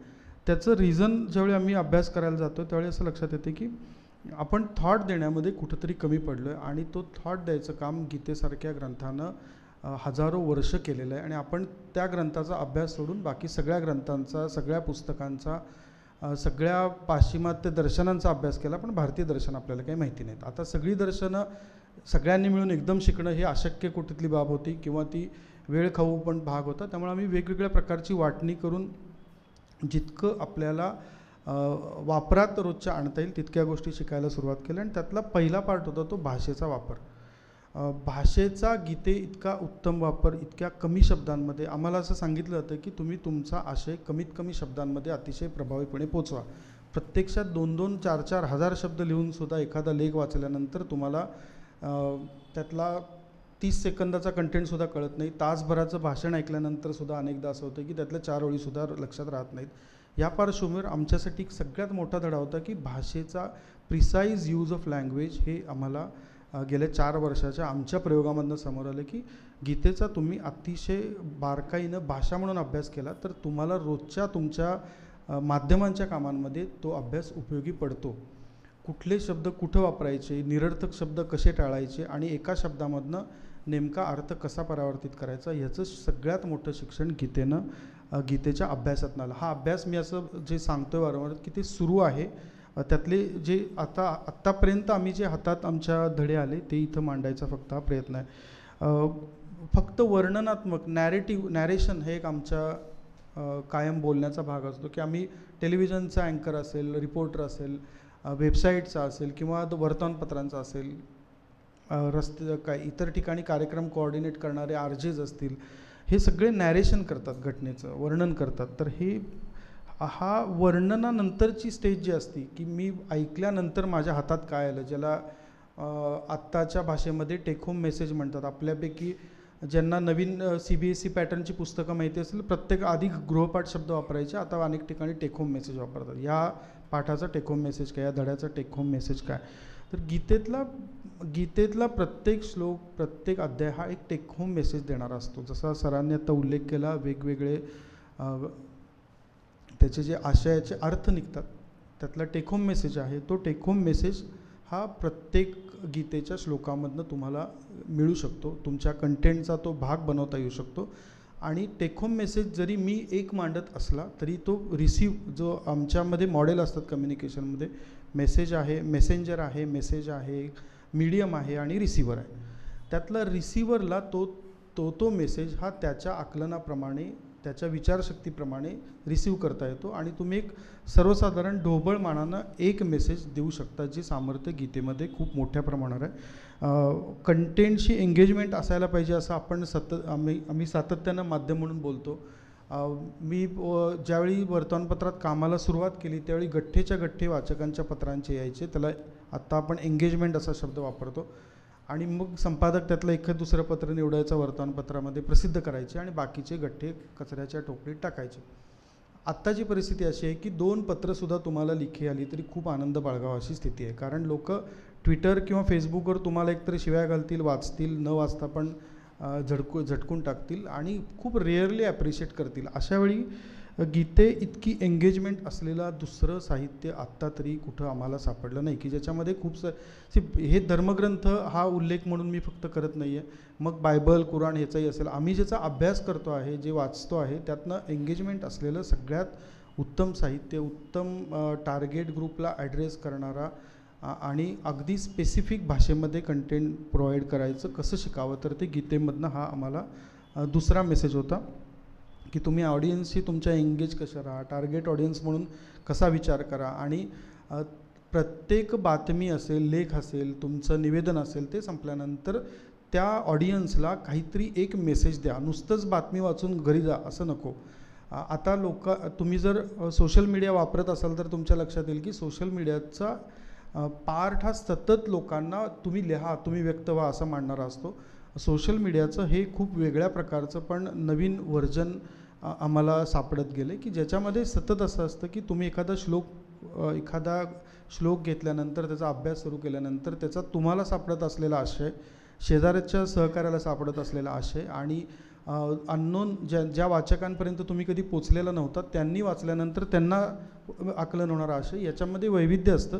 पण याचा सारांश एक असतो तुम्ही एक मेसेज देऊ शकता. हा सगळ्यात महत्त्वाचा पार्ट आम्ही त्यातनं शिकलो.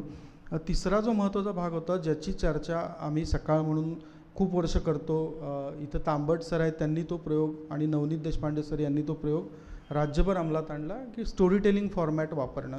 आणि पुन्हा इथं गीते इतकं स्टोरी टेलिंग फॉर्मॅटचं उत्तम उदाहरण दुसरं नाही आहे वर्तमानपत्र असेल टी व्ही असेल कुठल्याही ठिकाणी एखादी गोष्ट तुम्हाला खूप चांगल्या पद्धतीनं उदाहरणांमधनं गोष्टींमधनं सांगता आली पाहिजे.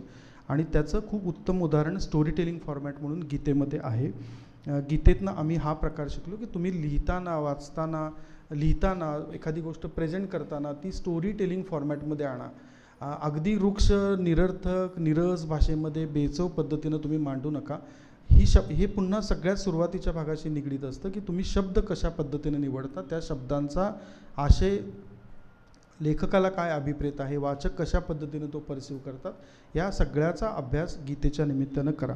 शेवटचा पार्ट होता ज्याच्यामध्ये एक, अजून आम्ही काम करतो आहे ज्या तुम्ही जे मांडता आहे त्याच्यामध्ये युटिलिटी व्हॅल्यू हवी. ते नुसतंच तत्त्वज्ञान नको. नेहमी खरे बोलावे ठीक आहे खरे बोलून त्याचा उपयोग काय मला आयुष्यात? डाव्या बाजूनं चालावे रस्त्याच्या मग डाव्या बाजूनं ट्रक आला तर मी कुठं जाऊ?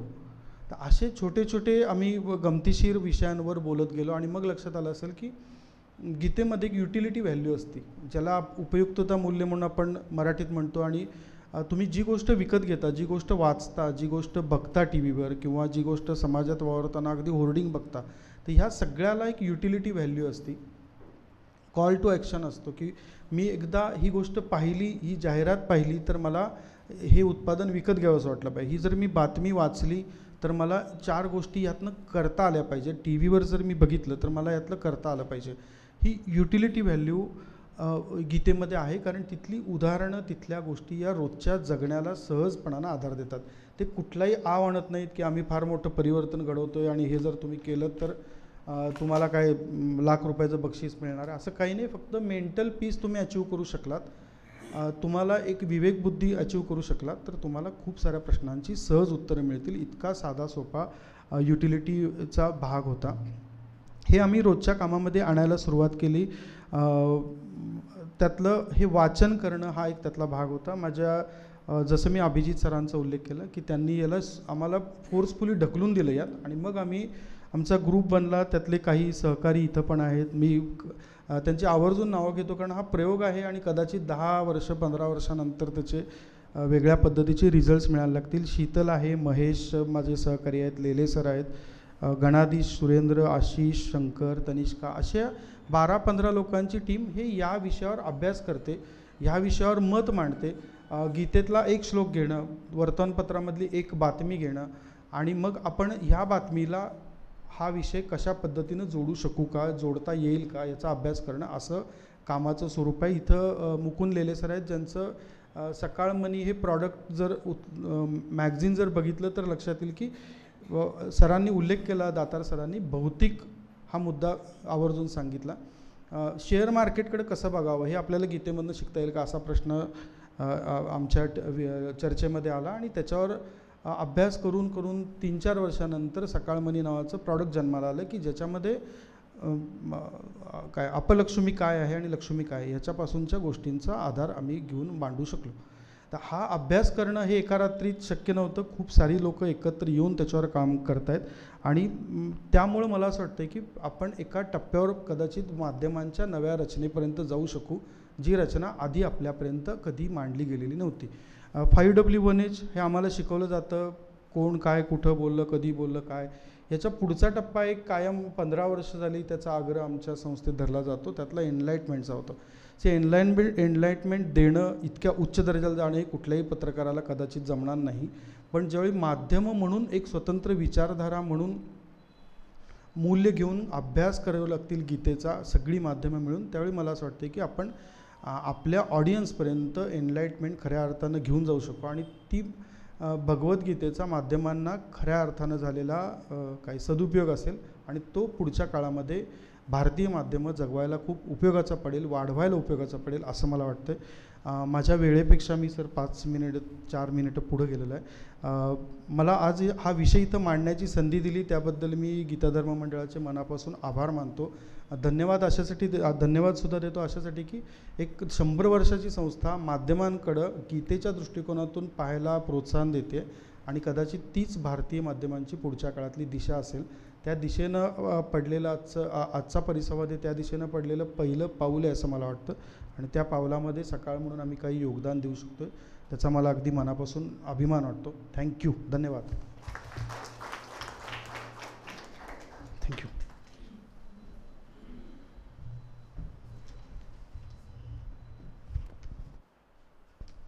धन्यवाद सम्राटजी. यानंतर बोलणार आहेत डॉक्टर विश्राम ढोले थोडक्यात परिचय. सावित्रीबाई फुले पुणे विद्यापीठाच्या मीडिया आणि कम्युनिकेशन स्टडी डिपार्टमेंटमध्ये सहाय्यक प्राध्यापक म्हणून काम करतात. Hindi film songs from nineteen fifty to two thousand ten as location of popular culture in India या विषयावर विद्यावाचस्पती ही पदवी त्यांनी प्राप्त केलेली आहे. अध्यापनाचा बावीस वर्षाचा अनुभव त्यांच्या पाठीशी आहे. त्यापूर्वी त्यांनी सकाळ लोकसत्ता लोकमत या पत्रातून पत्रकारिता पण केली. संज्ञापन आणि माध्यम या विषयांशी संबंधित पुस्तकांचं लेखनही त्यांनी केलेलं आहे. दोन इंग्रजी पुस्तकांचं मराठीत भाषांतर त्यांचे त्यांच्या नावावर आहे. राष्ट्रीय आणि आंतरराष्ट्रीय पातळीवरच्या परिषदांमध्ये त्यांचा सहभाग आहे प्रतिनिधित्व आहे आणि पेपर सादरीकरण अशा काही परिषदांचं आयोजन अशा पर्यावरण संबंधीमध्ये विषयावर जलदिंडी डॉक्टर प्रकाश आमटे यांच्या कामावर आधारित रानवाटा अशासारख्या अनेकविध डॉक्युमेंटरीची संकल्पना लेखन आणि दिग्दर्शन त्यांनी केलेलं आहे. पत्रकारिता प्रशिक्षण वर्गाचं आयोजन केलेलं आहे आणि अनेक ओपिनियन पोलचे सल्लागार म्हणून त्यांचा अनुभव आहे. ढोले सरांना विनंती करते की त्यांनी आपला विषय मांडावा.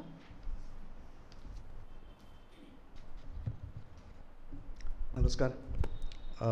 व्यासपीठावरील आदरणीय मनमोहनजी दाताजी माझे मित्र सकाळचे संपादक सम्राट प्रेक्षकांमध्ये बसलेले माझे मित्र एकेकाचे सहकारी अनेक आदरणीय मोठ्या व्यक्ती. सर्वप्रथम इथे बोलणार बोलण्याची संधी दिली त्याबद्दल मनपूर्वक आभार मानतो. म्हणजे मी एक दिवशी अचानक रात्री मनोहर सरांचा फोन आला होता की असं असं आहे तुम्ही या. आणि दोन्ही कुलकर्णी मनोहर किंवा अभय यांचा विशेष स्नेह असल्यामुळे मला त्यांना काही नाही म्हणता आलं नाही. मी उत्साहाने हो म्हटलं. पण नंतर लक्षात आलं की आपण काहीतरी चूक तर नाही केली ना की आपला म्हणजे हा खरंच आपला प्रांत आहे का? आणि मग थोडंसं टेन्शन आलं. कारण जसं सम्राट असं म्हणाला त्याप्रमाणे गीता गीतेतल्या गोष्टी यांचा परिचय आहे काही प्रमाणामध्ये वाचन आहे पण ज्याला व्यासंग म्हणावा असा नाही. त्यामुळे तो एक मुद्दा माध्यमांचा जरी संबंध असला तरी या दोघांचा ताळमेळ कसा घालायचा? हा एक मोठा प्रश्न होता. पण काय होतं की पत्रकारिता एक वेगळा कॉन्फिडन्स येते. आणि तो कॉन्फिडन्स असा आहे की एखाद्या गोष्टीबद्दल फारसं माहीत नसलं तरी बेधडक घुसायचं. हा पत्रकारितेचा कॉन्फिडन्स असतो. जरी हे वरकरणी थोडंसं चेष्टेसारखं वाटलं तरी ते पत्रकारितेचं भागधेय आहे. पत्रकारितेचं ते एक तत्त्व आहे. कारण पत्रकारांना ज्या अत्यंत विविध प्रकारच्या गोष्टींचा अभ्यास करावा लाग त्याच्याविषयी रिपोर्टिंग करावं लागतं लिहावं लागतं त्या सगळ्यामधली एक्सपर्टी नसते. ते असणं अपेक्षितही नाही. म्हणजे असलं तर चांगलं आहे पण ती अपरिहार्य गोष्ट म्हणून घेता येत नाही. आणि तरी देखील अत्यंत अल्प कालावधीमध्ये त्या विषयांना भिडणं त्याबद्दल काहीतरी सांगणं हे पत्रकारांना कर्तव्य म्हणून करावं लागतं. आणि म्हणून जसं म्हटलं की कमीत कमी माहिती पण जास्तीत जास्त कॉन्फिडन्स असं एक पत्रकारितेचं सूत्र असतं. तो म्हणजे ते प्रत्येक वेळा वाईटच अर्थाने घेता येत नाही. ती एक अपरिहार्यता असते. तो तो दहा वर्ष पत्रकारिता केली असल्यामुळे त्या आधारावर मी हो म्हटलं आणि थोडाफार त्याच आधारावर इथे उभाही आहे. पण मला नंतर जसा विचार करायला लागलो तसं लक्षात आलं की नाही अगदीच असं नाही आहे थोडाफार आपला संबंध आहे. आणि ते खूप थोडंसं वैयक्तिक कारण आहे. म्हणजे गीता धर्म मंडळांनी बोलावलं आहे आणि ते स्वीकारायचं याचं ते खूप वैयक्तिक कारण आहे आणि त्याचा थोडा संबंध मी नंतरही जोडतो. तो असा आहे की माल मी आज ज्यावेळेला बघतो माझ्याकडे तर लहानपणच्या काही अत्यंत ज्याला म्हणूया महत्त्वाच्या आठवणींमधली माझी आठवण ही गीता प्रसारक मंडळ म्हणजे तिथलं म्हणजे मी जिथे आलो ज्या गावातून आलो यवतमाळमधून तर तिथे गीता प्रसारक मंडळ म्हणून तर सर कदाचित ओळखत असतील तत्ववादी किंवा इतर काही मंडळींनी ते चालवलं होतं. आणि मी लहानपणी त्या गीता प्रसारक मंडळांच्या स्पर्धांमध्ये भाग घेत असे. माझ्या लहानपणच्या काही ठळक आठवणींमधली ती आणि त्या स्पर्धांमधून मला बऱ्यापैकी बक्षीस वगैरे मिळाली होती. आणि त्यानिमित्ताने आईने आम्हा सगळ्या भावंडांकडून गीतेचे अध्याय पाठ करून घेतले होते. पहिला दुसरा बारावा पंधरावा असे जे टिपिकल अध्याय असतात ते येत होते. नंतर अर्थात सत्तर आणि ऐंशीच्या मध्याच्या काळानंतर तो संपर्क हळूहळू कमी होत गेला. बाकी गोष्टींमध्ये गेलो. पण त्या स्मृती आणि ते संस्कार अजूनही जागे होते आणि म्हणून मला असं वाटलं की नाही जरी आपल्याला फार माहीत नसलं तरी अगदीच अस्पर्श असा हा भाग नाही आहे यानिमित्त आपण पुन्हा ती जुनी काहीशी विस्मृतीत गेलेली लिंक आपण पुन्हा करूया का? आणि म्हणून मग मी ते आनंदाने ते निमंत्रण स्वीकारलं. सो हे सगळं सांगण्याचं कारण असं आहे की जे म्हणून मी मी आता सांगणार आहे किंवा जे मांडणार आहे ते तशा अर्थाने व्यासंगी किंवा एखाद्या प्राध्यापकांकडून किंवा विद्यापीठातल्या एखाद्या शिक्षकांकडून अपेक्षित असावं तेवढं कदाचित नसेल. हे अत्यंत प्राथमिक विचार आहे. त्याला बऱ्याचशा गोष्टींची अजून जोड देण्याची गरज आहे. याची मला कल्पना आहे आणि ते हळूहळू देतील. त्याची सुरुवात कुठून व्हावी म्हणून मग मी आज ही भूमिका आपल्याकडे मांडतो आहे अर्थात एक अत्यंत त्यातला महत्त्वाचा मुद्दा असा आहे की ज्याचा उल्लेख सम्राट यांनी केला की तंत्रज्ञानाने प्रेरित व्यावसायिक आणि व्यावहारिक गणितांनी बांधलेल्या आजच्या माध्यम व्यवहाराला चार हजार पाच हजार वर्ष जुन्या गीतेचा संबंध लावायचा कसा?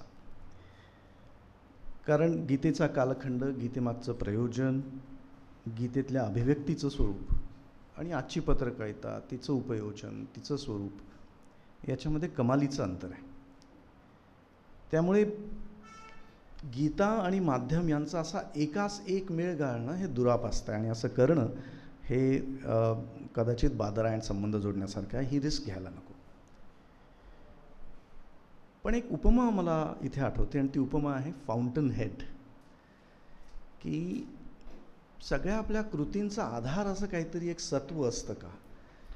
आणि त्या अर्थाने जर आपण गीतेकडे बघितलं तर मला असं वाटलं आणि नंतर थोडं थोडं ते जाणवतही गेलं की आपण एकास एक मेळ किंवा अगदी शब्द हा आणि तो शब्द असं घेऊन करण्यापेक्षा गीतेकडे आजच्या पत्रकारितेसाठी लागणाऱ्या काही विचारांचा फाउंटन हेड म्हणून बघता येईल का? असा जर विचार केला तर तो जाणवतो आणि तो काही मांडण्याचा प्रयत्न करतो आणि मला खूप आनंद आहे. की सुदैवाने माझ्या आधी सम्राटनी त्याचं प्रत्यक्ष काही प्रमाणामध्ये उपयोजन कसं करता येतं आणि एक आत्ताचा इथला प्रमुख आणि अत्यंत मान्यवर असा माध्यम समूह ते कसं करतो आहे याचा काही एक वस्तुपाठ आणि त्याची ओळख आपल्याला सम्राटने करून दिली आणि एका अर्थाने ते खूप योग्य झालं आहे त्यामुळे मी जे सांगतो आहे तो काही प्रमाणामध्ये इंटरप्रिटेशनचा भाग आहे अन्वयार्थाचा भाग आहे. आणि अन्वयार्थ ही तशी एक रिस्की गोष्ट असते. अन्वयार्थ लावण्यात लावताना खूप ज्याला आपण म्हणूया विवेक सांभाळावा लागतो. तो जर सांभाळला गेला नाही तर अर्थविक्षेप होणं अर्थविकृती होणं हेत्वारोप होणं अशा असे अपघात घडू शकतात. ह्या सगळ्या निसरड्या वाटा आहेत. आणि म्हणून त्यात थोडंसं सांभाळून आपल्याला काही गोष्टी कराव्या लागणार आहे. आणि म्हणून मूल्यांच्या बाबतीमध्ये आपण तिथे बोलण्याचा अधिक प्रयत्न करू. आणि म्हणूनच थोडंसं आत्ता बोलताना माझी एरवी जशी फारशी एखाद्या व्याख्याताला काय लाईक शिक्षकाला बोलण्याची सवय असते. पण आज थोडंसं मला ते जे अर्जुनाने पहिल्या अध्यात जे म्हटलं आहे ना तसे थोडीशी अवस्था होते. म्हणजे तो मूळ श्लोकामधला थोडासा फरक कसं म्हणतो. दृष्टन स्वजनम धीमन इथे बरं कर फरक करतो आहे मुमुक्षितम समुपस्थितम सीदंती मम गात्र आणि मुखांचे परिशिष्यते. इथले सगळे मुमुक्षू इथले सगळे धीमन बुद्धिमान जाणकार मंडळी आहे. आणि त्यांच्यासमोर मला परिचित असलेल्या विषयावर बोलतो तर साहजिक आहे. म्हणजे मुखमज परिशिष्यती ते अगदी इतकं खरं खरं नाही आत्ताच पाणी प्यायलेलो आहे पण तरी देखील तो थोडासा भाग आहे. आता हे सगळं बघितलं तर गीतेचा थोडासा संदर्भ आपण पत्रकारितेला कोणत्या कोणत्या पातळ्यांवर लावू शकतो? मला असं वाटतं की पहिली एक पातळी आहे ती आहे पत्रकारितेचा एकूण जो फॉर्म आहे एकूण जी सगळी व्यवस्था आहे स्टेटस आहे ती आणि गीतेचं स्टेटस याच्यामध्ये एक काहीतरी एक अनकॅनी सिमिलॅरिटी एक काहीतरी साम्य आहे. ज्याचा उल्लेख दातार सरांनी केला आणि सम्राटनी पण केला. कारण मुळातच ज्या प्रसंगाच्या चौकटीमध्ये गीतं सांगितली गेलेली आहे तो आमच्या पत्रकारितेच्या भाषेत सांगायचं तर मेगा इव्हेंट आहे. अठरा औक्ष आणि सैन्य आहे संघर्ष आहे. दोन्हीकडे बलाढ्य व्यक्ती उभ्या आहेत. आणि एक फार मोठं काहीतरी घटना घटनाक्रम क्रम त्याचे प्रचंड मोठे परिणाम हे दिसणार आहेत. आणि असा प्रसंग लाईव्ह स्वरूपात सांगणं. म्हणजे जर त्या काळात टेलिव्हिजन असतात तर त्यांनी तर म्हणजे याचा केवढा मोठा इव्हेंट केला असता किती ड्रोन कॅमेरे लावले असते आणि किती याचं काही हे सांगता म्हणजे थोडक्यात सांगायचं की आजच्या पत्रकारितेला जो एक ड्रीम इव्हेंट वाटेल अशा ड्रीम इव्हेंटच्या एका अत्यंत नाट्यमय क्षणावर गीत आहे ते की जो त्याचा नायक आहे. म्हणजे एकमेव नाही पण एक महत्त्वाचा नायक आहे अर्जुन. तो सगळी तयारी झाली आणि आयत्या वेळी म्हणतो की नाही आता मला लढायचं म्हणजे हे आता शपथविधी घेणार आणि मी नंतर म्हणता की नाही आता असं जे जो ड्रामा आपण बघू शकू तशा पद्धतीचा तो ड्रामा आहे. त्याच्यावर त्या संदर्भामध्ये येतं आणि त्या अर्थाने जर त्याचं तात्कालिक प्रयोजन बघितलं अगदी घटनेच्या अनुषंगाने प्रयोजन बघितलं तर ती पत्रकारितेच्या दृष्टीने अत्यंत महत्त्वाचं आहे. पण हे सगळं होत असताना ज्या फॉर्ममध्ये गीता सांगितली गेलेली आहे ज्याचा उल्लेख आधी पण झालेला आहे तर तो अत्यंत महत्त्वाचा आहे. आणि तो फॉर्म कसा आहे? तर सुरुवातच जणू असं समजूया की ज्याला ते प्रत्यक्ष बघता येत नाही अशा एका ऑडियन्स म्हणजे इथे आपण म्हणूया धृतराष्ट्र की धृतराष्ट्र हा म्हणजे हे सगळे रूपकं वापरतो आहे म्हणजे मी हे सगळं रूपकात्मक स्वरूपात सांगतो आहे म्हणून मी मगाशी जे म्हटलं की ते रूपक म्हणून घ्यावं वन टू वन आपल्याला त्याचा फारसा संबंध लावणं अनेकदा चुकीचं ठरेल. तर रूपक म्हणून धृतराष्ट्र म्हणजे कोण आहे? तर वास्तविक परिस्थितीशी अनभिज्ञ असलेला तेथे न जाऊ शकणारा जो ऑडियन्सेस आहे त्याच्यासाठी आहे त्याची पृच्छा आहे. धर्मक्षेत्रे कुरुक्षेत्रे समवेता युत्सवा मामका पांडवाश्चैव किंवा कुर्वत संचय आणि मग तो हा जो ग्राहक आहे तो म्हणतो की मला सांग हे जे धर्मक्षेत्र आहे हे जे कुरुक्षेत्र आहे इथे माझे आणि पांडवांची जी मुलं आहेत ती काय करतात आहे? काय करणार आहेत? आणि मग तिथून मग संजय वाचपासून सुरू होतं आणि मग तिथून पत्रकारितेचं येतं आणि ज्याचा उल्लेख आला संजय तशा अर्थाने पत्रकारितेचं एक अत्यंत महत्त्वाचं काम वर्णन करणं असतं यथाशक्ती वर्णन करणं असतं ऑब्जेक्टिव्हली वर्णन करणं असतं. ते जर बघितलं ना तर पत्रकारितेच्या ज्या ज्या म्हणून आम्ही आजचे क्लासिकल जर्नलिझमच्या आम्ही आत्ताचं अगदी म्हणणार नाही पण जो जर्नलिझम आम्ही शिकलो किंवा जो जर्नलिझम शिकावा अशी आमची विद्यार्थ्यांकडून अपेक्षा असते. किंवा ज्या जर्नलिझमची आम्ही पण बरेचदा प्रॅक्टिस करतो क्लासिकल जर्नलिझम तर क्लासिकल जर्नलिझममधलं एक अत्यंत महत्त्वाचं सूत्र आहे निष्पक्षता. आणि मग मी सहज पूर्ण ते अठरा अध्याय वाचून काढले. तर लक्षात आलं की ही कमाल संजयाने ती साधलेली आहे.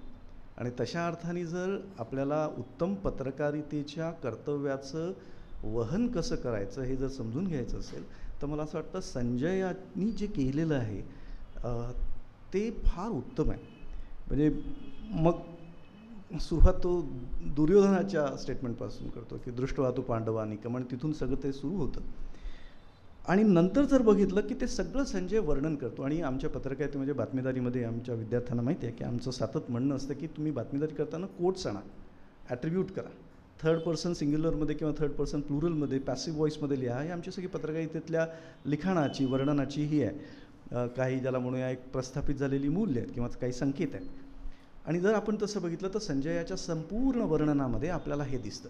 तुम्ही अठराही अध्याय काढून बघा. प्रत्येक ठिकाणी तो संजय कृष्ण श्री भगवान उवाच अर्जुन उवाच धृतराष्ट्रवाच प्रत्येकाला कोटिंग आहे. प्रत्येकाला ॲट्रिब्युशन आहे. आणि कुठेही तिथे मत नाही आहे म्हणजे जिथे जिथे संजय वाचे आहे पहिला अध्याय घेऊया ते सतरावा अध्याय अठरावा अध्यायापर्यंत कुठेही संजय स्वतःचं मत व्यक्त करत नाही. म्हणजे आजच्या रिपोर्टिंगमध्ये रिपोर्टिंगच्या नावाखाली आपको कसा लगता है? किंवा हे तर येणारा काळच सांगेल किंवा संपूर्ण राज्यामध्ये दहशतीचं वातावरण निर्माण झालेलं आहे किंवा संतापाची भावना आहे असं आपण आपल्याच भावना देशांच्या नावाने खपवतो. तसं इथे कुठे नाही इथे या सगळ्या ठिकाणी संजय वर्णन वर्णन करतो आहे. आणि ते वर्णन कसं आहे? तर साक्षी भावानी होणारं वर्णन आहे. फक्त शेवटच्या अठराव्या अध्यायामध्ये काही ठिकाणी संजय त्याची भावनिक अवस्था सांगतो आणि तो आहे संवाद मिश्र अद्भुतम रोमहर्षण म्हणजे की हा जो संवाद आहे कृष्ण अर्जुनमधला तो रोमहर्षक आहे. अद्भुत आहे. असं काही प्रमाणामध्ये मत किंवा भावना व्यक्त करणारे काही उल्लेख आहेत ते येतात शेवटी अध्याय अठराव्या अध्यायात. आणि त्याहीपेक्षा महत्त्वाचं की हे सगळं करून संजय फक्त वर्णन करतो आहे का? फक्त टी व्ही कॅमेरा आहे का? तर नाही जसं पत्रकारितेमध्ये वर्णन करणं सांगणं जे घडलं ते सांगणं हे अत्यंत महत्त्वाचं काम आहे. तसं पत्रकारितेचं एक अंग हेही आहे की जे घडलं ते काय होतं आणि त्याच्यामध्ये तुमची भूमिका काय आहे? एक वर्णनकर्ता म्हणून भूमिका संपल्यानंतर त्याच्या पलीकडे तुमची समाजासाठीची भूमिका काय आहे? हेही पत्रकारितेचं एक अत्यंत महत्त्वाचं भाग्य असतं आणि ते आहे महत्त्वाचं कार्य असतं आणि तिथेही संजय शेवटी खरा येतो आणि मग आपल्याला माहिती आहे गीतेचा सर्वात शेवटचा शो श्लोक यत्र योगेश्वर कृष्ण यत्र पार्थो धनुर्धरा तत श्रीविजय भृतिर्धुव नितिर्मम. याचा अर्थ की हे शेवटचं म्हणजे मी असं म्हणेल की हा दोन संपूर्ण वर्णन केल्यानंतर दोन ओळींमध्ये लिहिलेला हा ठाम ठोस अग्रलेख आहे. की त्यांनी सांगितलं की हे मी सगळं सांगितलं जसं घडलं तसं सांगितलं.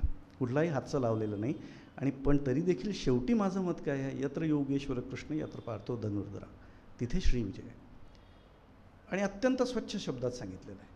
त्यामुळे ज्या वेळा भूमिका घ्यायची ती स्वच्छपणे घ्यायची आणि ती भूमिका माझी आहे नितिर्ममम हे माझी बुद्धी आहे. माझ्या बुद्धीनुसार मला असं वाटतं की जिथे जिथे धर्म आहे जिथे जिथे योगेश्वर कृष्ण आहे तिथे विजय ठरलेला आहे. हे तो धृतराष्ट्राला सांगतो. एका अर्थाने त्यांच्या सो कॉल्ड मालकांना सांगतो आहे एका अर्थाने संजयानी पूर्ण सतरा अठरा अध्यायाच्या बराच काळपर्यंत स्वच्छ रिपोर्टरची भूमिका घेतलेली आहे ऑब्जेक्टिव्ह रिपोर्टिंगची भूमिका घेतलेली आहे.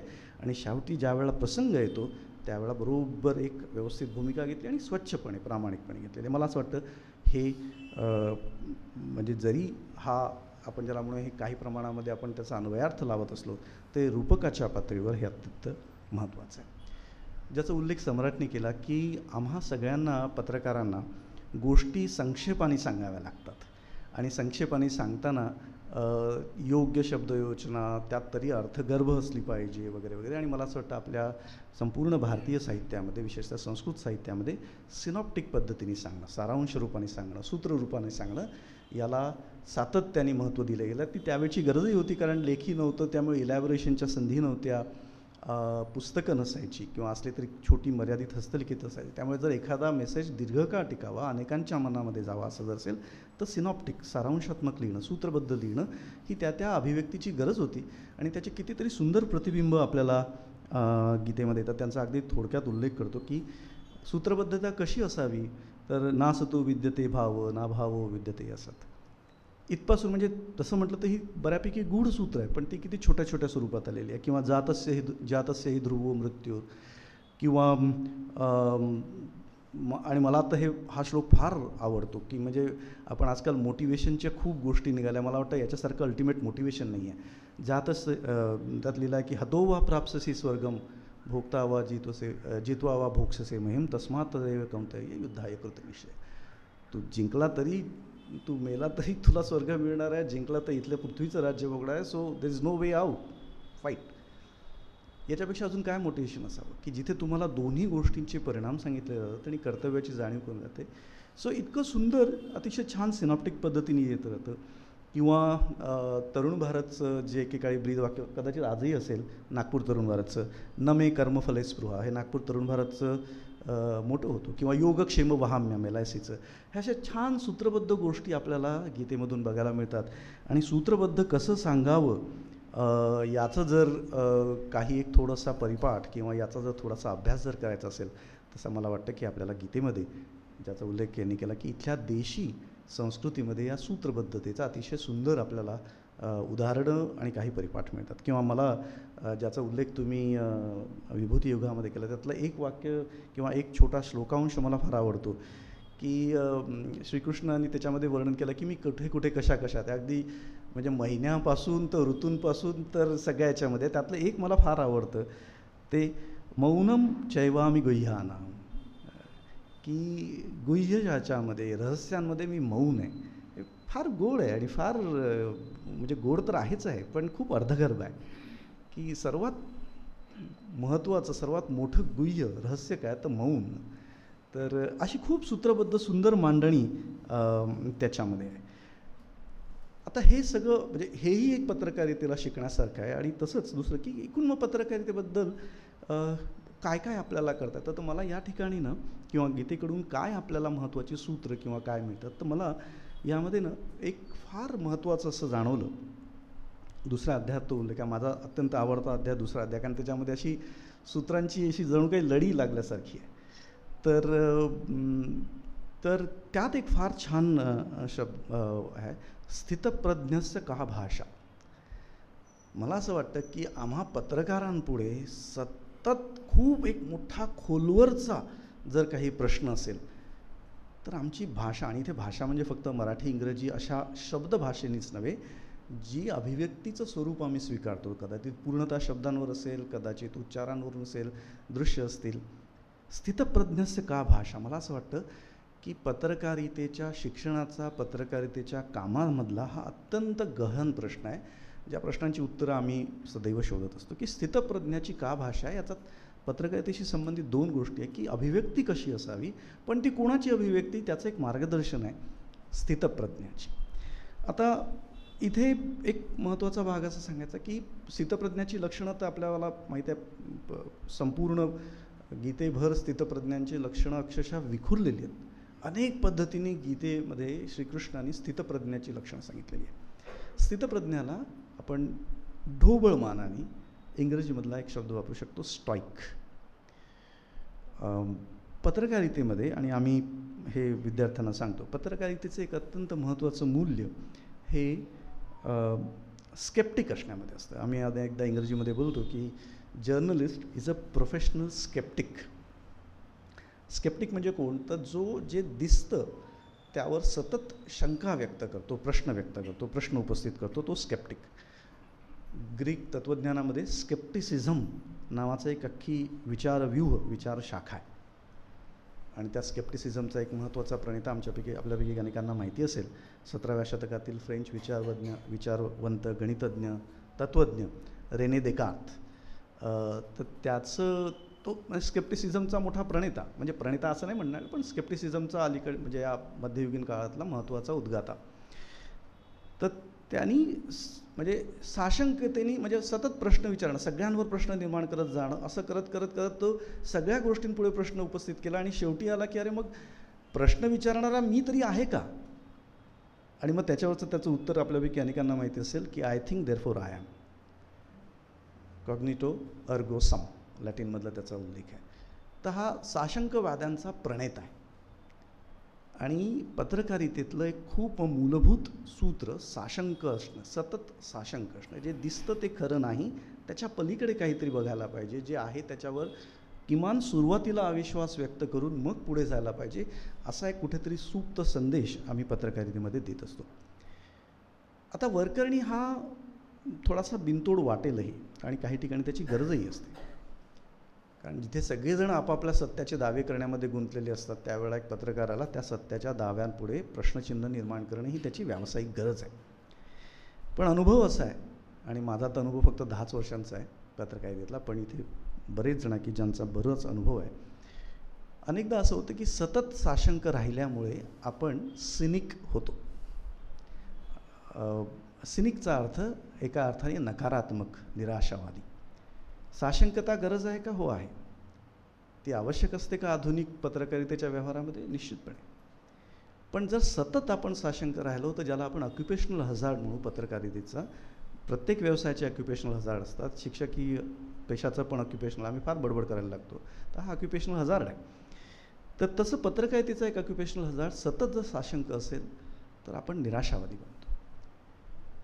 पण so you know if you become too sceptic you may become cynic पण गीतेमध्ये त्यातला फार छान जो आहे जो मला अलीकडे वाचताना तो जाणवला या निमित्ताने की गीता तुम्हाला निराशावादी बनवत नाही. म्हणजे इनफॅक्ट ते नाहीच आहे. ते मूळ प्रयोजनच ते आहे की निराशा झटकणे आणि कर्तव्याला हे होणं.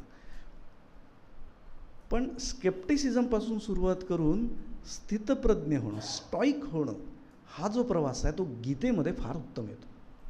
अर्जुनाची सुरुवातीची अवस्था से स्केप्टिक जी पत्रकाराची सुरुवातीची भूमिका असते तीच अर्जुनाची भूमिका की इथे माझे आप्तस्वजन आहेत इतकं सगळं आहे कुलसंहार होणार आहे कुलक्षय होईल आहे संस्कृती बुडेल आहे मग मी हे करायचं का? असा तो प्रश्न ही साशंकता आहे. कर्तव्याबद्दलची आलेली साशंकता आहे. युद्धाबद्दलच्या दाव्यांविषयी आलेली साशंकता आहे.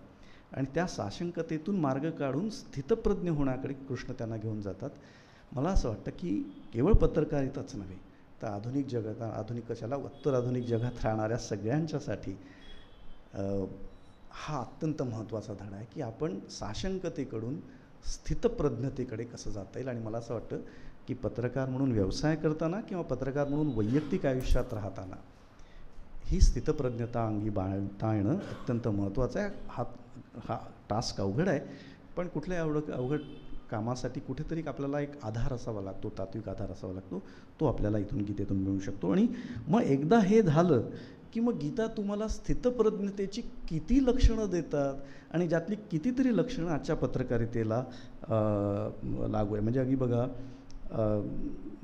शीतस शीत शीतोष्ण सुखदुःखेषु तथा मानापमानयो किती मान आला किती अपमान आला शीत असो उष्ण असो मी स्थित राहील अशी कितीतरी उदाहरणं श्रीकृष्ण अर्जुनाला सांगत राहतात.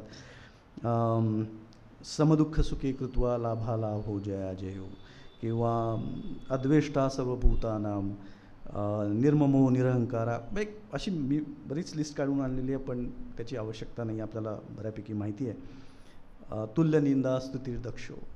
किंवा समदुःख सुख समस्लो कष्ट कांचन वगैरे अशी सगळी म्हणजे पत्रकारितेमध्ये असणारे जे चांगले वाईट अनुभव पत्रकारिता करतानाचे येणारे सगळे फायदे तोटे लोभ या सगळ्यांमध्ये स्थिर राहण्याची गरज असते जी पत्रकारितेची आद्य गरज आहे. विशेषतः रिपोर्टिंग किंवा संपादकीय काम करतानाची. आणि त्या सगळ्या कामामध्ये स्थितप्रज्ञ असेल तर ते त्याची लक्षणं काय असावी? इथे आपल्याला गीतेची उपयोग उपयोग बऱ्यापैकी होऊ शकतो. हा उपयोग हा मगाशी म्हटल्याप्रमाणे थेट नाही आहे जसाच्या तसा नाही आहे पण तो उपयोग आपली मानसिकता घडवण्यासाठी आहे आणि तो मला असं वाटतं अत्यंत महत्त्वाचा आहे. आपण म्हणजे मगाशी म्हटल्याप्रमाणे पत्रकारितेचा फॉर्म बघितला की ज्याला गीतेचा काहीतरी कोंदण देता येतं. आपण पत्रकारितेतली जी भूमिका आहे जी ऑब्जेक्टिव्हिटीची असो स्थितप्रज्ञतेची असो त्याला आपल्याला काही सूत्र मिळतात. आणि पत्रकारितेची जी खोलवरची नीतिमूल्य आहे त्याही बाबतीमध्ये आपल्याला गीतेकडून घेता येण्यासारखं आहे. उदाहरणार्थ की आणि मला ज्याचं फार छान कौतुक वाटतं की गीतेमध्ये मनुष्याकडे डायलेक्टिक पद्धतीने नाही बघितलेलं की हे किंवा ते काळं किंवा पांढरं असं नाही. तर आपल्याला त्याच्याकडे अवस्थांमध्ये बघितलेलं आहे. आणि आपण म्हणून बघतो की सत्व रजतम असे तर तीन गुण सांगितलेले आहेत. मला असं वाटतं की म्हणजे हा थोडासा वेगळा विषय पण एक छोटासा उल्लेख करतो की आपल्याकडे ना कुठली गोष्ट तीनच्या सेटमध्ये सांगितली की फार चांगली लक्षात राहते. असं काहीतरी आणि हे फक्त भारतामध्येच नव्हे जगभरातल्या वेगवेगळ्या संस्कृतीमध्ये हे दिसतं की तू if you tell something in terms of three तर ते पटकन लक्षात राहतं. म्हणजे बघा ना आपल्याकडे त्रिदेव आहेत ब्रह्मा विष्णू महेश आहे. भूत वर्तमान भविष्य आहे. अगदी पि चित्रपटांची नावं देखील अमर अकबर अँथनी अशासारखी असतात. आपण लोकशाहीची कोणती पक्की वाक्य सांगतो? For the people by the people of the people पुन्हा तीन आहे. तसं आपल्याकडे तीन एक सूत्र अत्यंत महत्त्वाचे जी त्यांनी सांगितले की सत्व रजतम. आणि मला माहिती आहे की आपल्या गीतेमध्ये मला वाटतं सतरावा अध्याय त्याच्यामध्ये अ, सत्वरजतमाचे एक सतरा की अठरा मला आता एक्झॅक्ट आठवणार नाही. त्याची वैशिष्ट्य काय? म्हणजे सत्व गुणांची वैशिष्ट्य काय? त्याची लक्षणं काय? सत्व वृत्तीची काय? सत्व बुद्धीची काय? सत्व कृतींची काय? म्हणजे सत्वकर्म सत्वबुद्धी सत्वनिष्ठा अशा सत्व नि निर्धार या सगळ्यांची खोलवरची वर्णनं तिथे आलेली आहेत. आपण प्रत्येक वेळेला काही उत्तमच असू प्रत्येक वेळा नीचच असू असं नाही पण ह्या सगळ्या टप्प्यांमध्ये जात असताना आपण कुठे कुठे काय काय करू आणि काय काय केलं पाहिजे याचा एक नॉर्म याची एक काहीतरी एक ज्याला म्हणू ना बेंचमार्क ज्याला आपण आजकालच्या शब्दामध्ये म्हणतो तो आपल्याला गीतेमधून मिळतो विशेषतः शेवटच्या त्या दोन अध्यायांमधून मिळतो. माझ्या दृष्टीने ते अत्यंत महत्त्व म्हणजे पत्रकारितेमध्ये अनेक काळ वाहिल्यानंतर किंवा काही काळ घालवल्यानंतर जर आपणच आपल्याला कुठेतरी जोखायचं असेल की जे मी करतो आहे ते बरोबर आहे का? ज्या दिशेने माझी चाललेली आहे ती बरोबर आहे का? ते जर जोखायचं असेल तर सत्व रज आणि तम ह्या तीन गीतेमधल्या संकल्पनांचा आणि त्यात जी वेगवेगळी लक्षणं सांगितलेली आहे त्यांचा उपयोग होऊ शकेल असं मला वाटतं. हा गीतेमधला उल्लेख नाही पण हा गीतेशी संबंधित उल्लेख आहे. आपल्याकडे स- सत्यम शिवम सुंदरम अशी अत्यंत महत्त्वाची संकल्पना आहे आणि आपल्याला माहिती आहे आपल्या दूरदर्शनचं ते घोषवाक्य. मला हे फार इंटरेस्टिंग वाटतं. एक तर पुन्हा ते तीनच्या सेटमध्ये सांगितलेलं आहे. आणि ते इंटरेस्टिंग याहीसाठी आहे की त्याच्यामध्ये शिव हे मध्यभागी आहे. सत्य शिव आणि सुंदर. त्यामुळे मला हे माझं इंटरप्रिटेशन आहे. तज्ज्ञांनी जरूर सांगावं. की मला असं वाटतं की त्या अर्थाने भारतीय परंपरेला सत्याचा एककल्ली शोध मान्य नाही. किंवा सौंदर्याचा एककल्ली वेद मान्य नाही.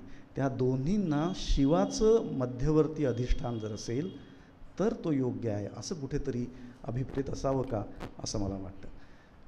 तसंच मला असं वाटतं की त्याच पद्धतीने सत्व भद्र शिव या काही खोलवरच्या आपल्या गीतेमध्ये किंवा आपल्या वाङ्मयामध्ये ज्या काही संकल्पना येतात त्यांचं अधिक खोलवरचं संशोधन करून त्याची मांडणी करणं गरजेचं आहे. कारण जी जी म्हणून अभिव्यक्तीची माध्यमं आहे.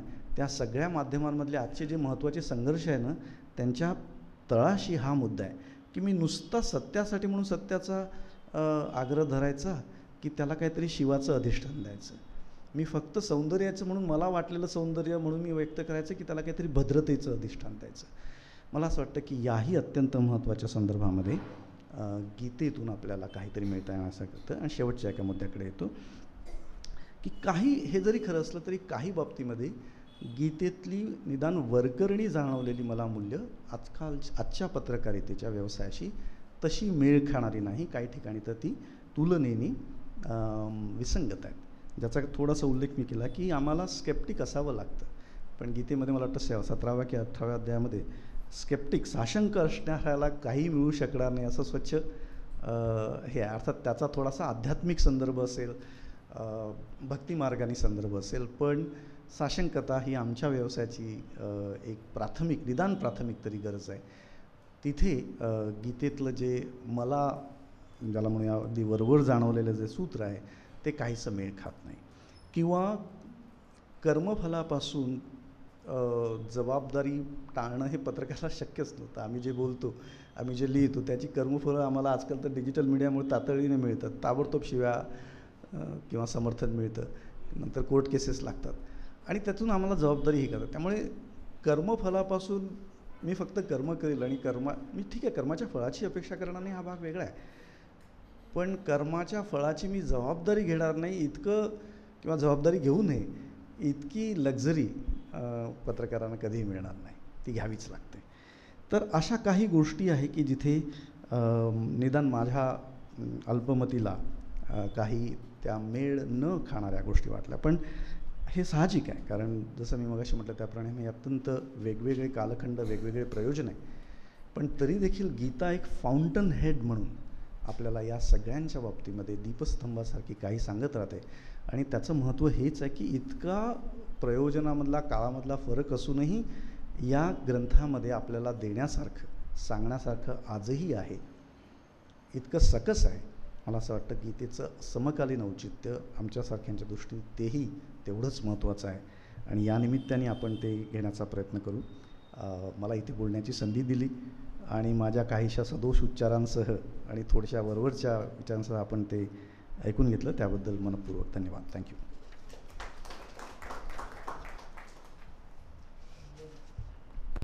आपण सर्वजण मनमोहनजींचं मार्गदर्शन ऐकायला उत्सुक आहोत. पण मी स्वतः पुणे विद्यापीठाच्या वृत्तपत्र विद्या प्र विभागाचे प्रमुख डॉक्टर संजय तांबट ते आज उपस्थित आहेत. त्यांना विनंती करतो की पाच मिनिटात त्याने आपलं मनोगत व्यक्त करावं आणि मग मनमंजींचे विचार आपण ऐकू.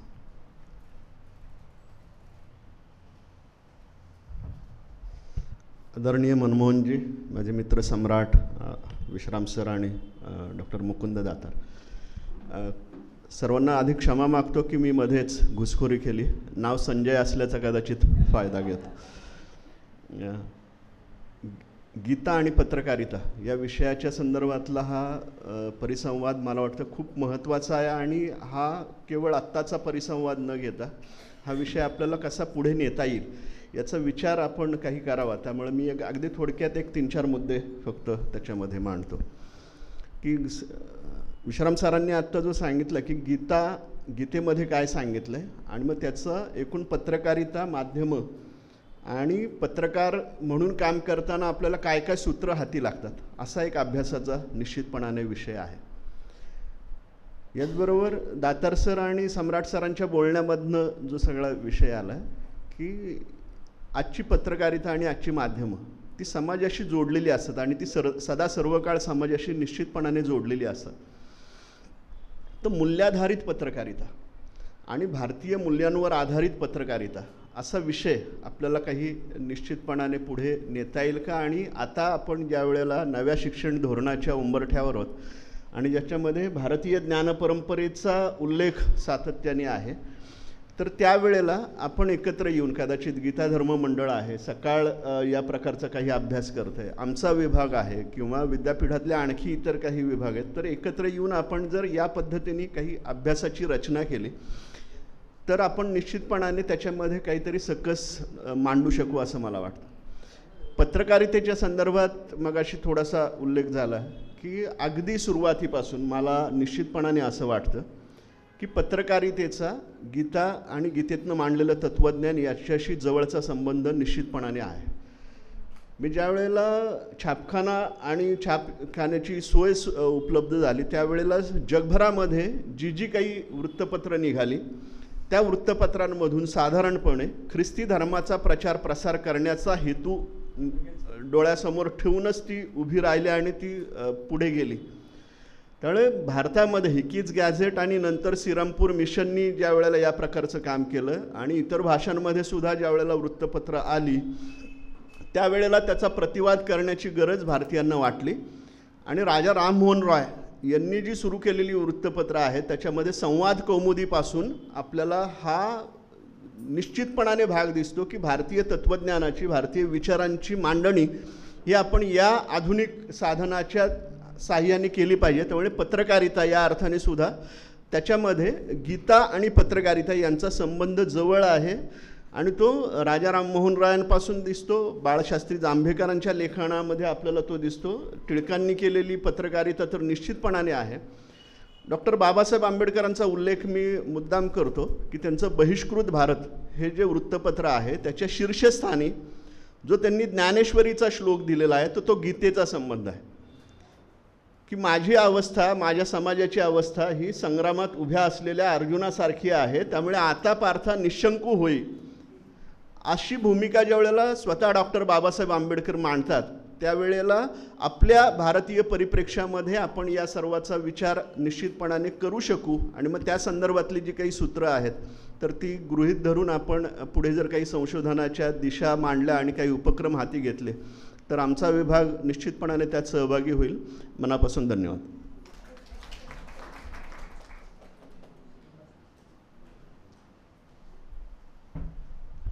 मनमोहनजींना विनंती करते की त्यांनी तांबडसरांचा सत्कार करावा.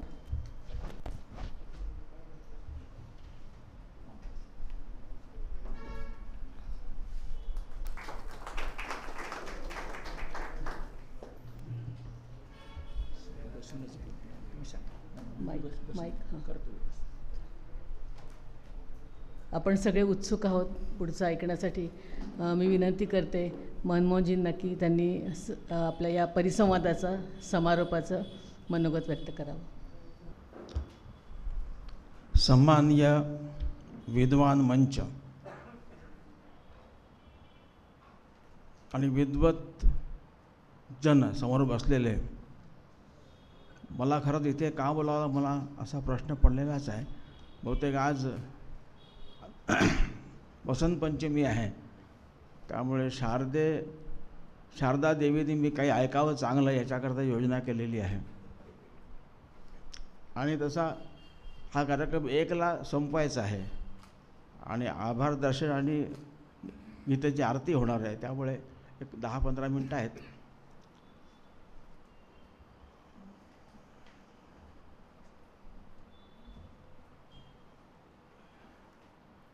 गीता कोणाकरता आहे?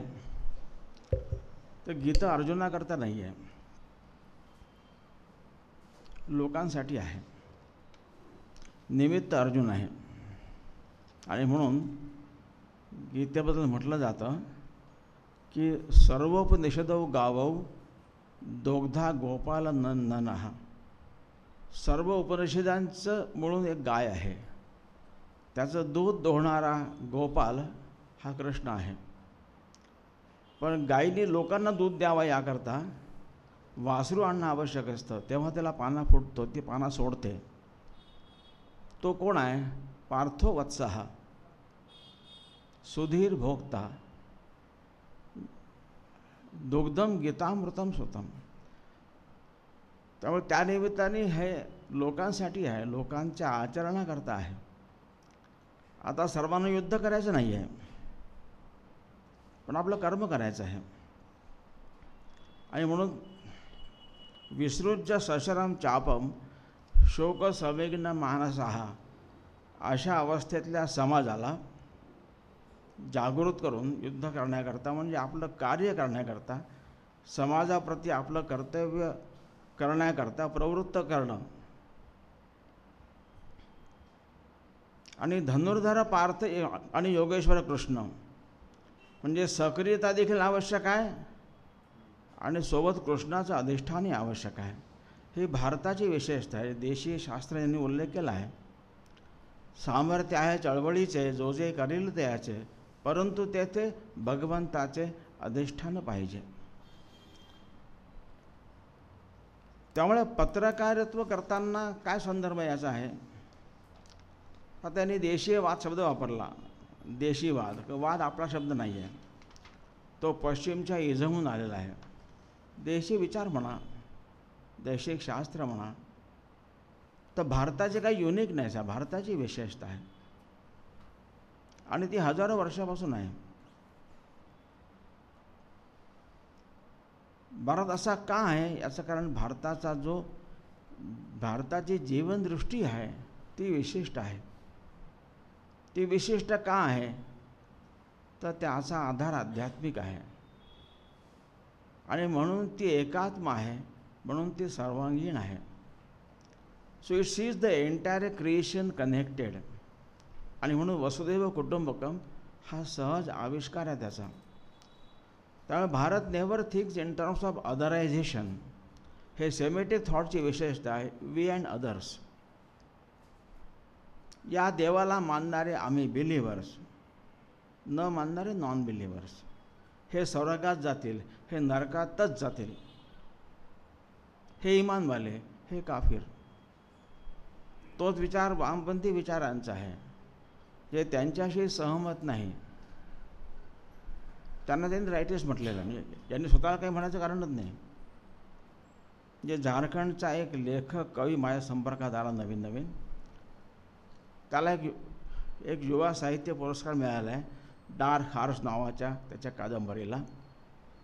त्यांनी नवीन कादंबरी दिली अवघड नावाची. त्यात एक त्यांनी एक डायलॉग मला सांगितला. एका पात्राच्या माध्यमातून तो सांगतो एका वामपंथी सक्रिय कार्यकर्त्याला कम्युनिस्टाला की काल मासने तुम्हाला सांगितलं की धर्म अफू आहे. आणि म्हणून तुम्ही धर्म सोडला. परंतु अफू सोडले. मग तो म्हणे याच्यामुळे त्यांनी मला संगी संगी ठप्पा मारायला सुरुवात केली. म्हणजे हे जे आहे अदरायझेशन इतकं महत्त्वाचं डायलॉग म्हणजे मला कधी सुचला नव्हता. परंतु हे जे आहे हा भारतीय विचार नाही आहे. भारताचा विचार एकात्म आहे. आणि परस्पर संघर्ष नाही आहे. म्हणून एक जो जो वेस्टर्न पॅराडाईम होता ज्याचा फिटजॉब कापराने उल्लेख केला आहे the paradigm that is now receding has dominated our culture for several hundred years during which it has shaped our modern western society and has significantly influenced the rest of the world. This paradigm consists of a number of entrenched ideas and values among them the view of the universe as a mechanical system compose of elementary blocks the view of the human body as a machine, the view of life in society as a competitive struggle for existence, belief in unlimited material, economic, and technological growth, and last, not the least, the belief that a society in which the female is everywhere subsumed under the male is one that follows a basic law of nature. These entire assumptions have been faithfully challenged by recent events, and indeed, a radical revision of them is occurring. नवीन paradigm का आहे ते लिहितात friends of Capra हे particle physicist होते the new paradigm may be called a holistic world view seeing the world as an integrated whole rather than a dissociated collection of parts it may also be called an ecological view if the term ecological is use in a much broader and deeper sense than usual आता महत्त्वाचं वाक्य आहे the deep ecological awareness recognises the fundamental interdependence of all phenomena and the fact that as individuals and societies we all are embedded in and ultimately depend on the cyclic process of nature. Ultimately, deep ecological awareness is spiritual or religious awareness when the concept of the human spirit is understood as the mode of consciousness in which the individual feels a sense of belonging, of connectedness to the cosmos as a whole, it becomes clear that ecological awareness is spiritual in its deepest essence and it is therefore not surprising that the emerging new vision of reality based on deep ecological awareness is consistent with the so called perennial philosophy of spiritual traditions. तर जग इकडे चाललं आहे याची आधारभूमी भारत आहे. कारण भारताचा जीवनाचा विचारच अध्यात्म आहे. आणि याने भारताच्या व्यक्तित्वाला पर्सनॅलिटीला शेप दिला आहे. याचे चार मुख्य पैलू आहेत. पहिला आहे एकम सद विप्राय बहुधा वदंती. त्यामुळे देव ईश्वर सत्य एक आहे त्या त्याला अनेक नावं असतील त्याचे त्यापर तोपर्यंत पोहोचण्याचे मार्ग विविध असतील. हे सर्व खरे आहेत हे मानणं. त्यामुळे आता पत्रकार जगतामध्ये भारताचा वर्णन करताना टॉलरन्स हा आपला गुण आपल्याला आपण सांगतो. तो वास्तविक चुकीचा आहे. कारण टॉलरन्समध्ये इनटॉलरन्स आहे.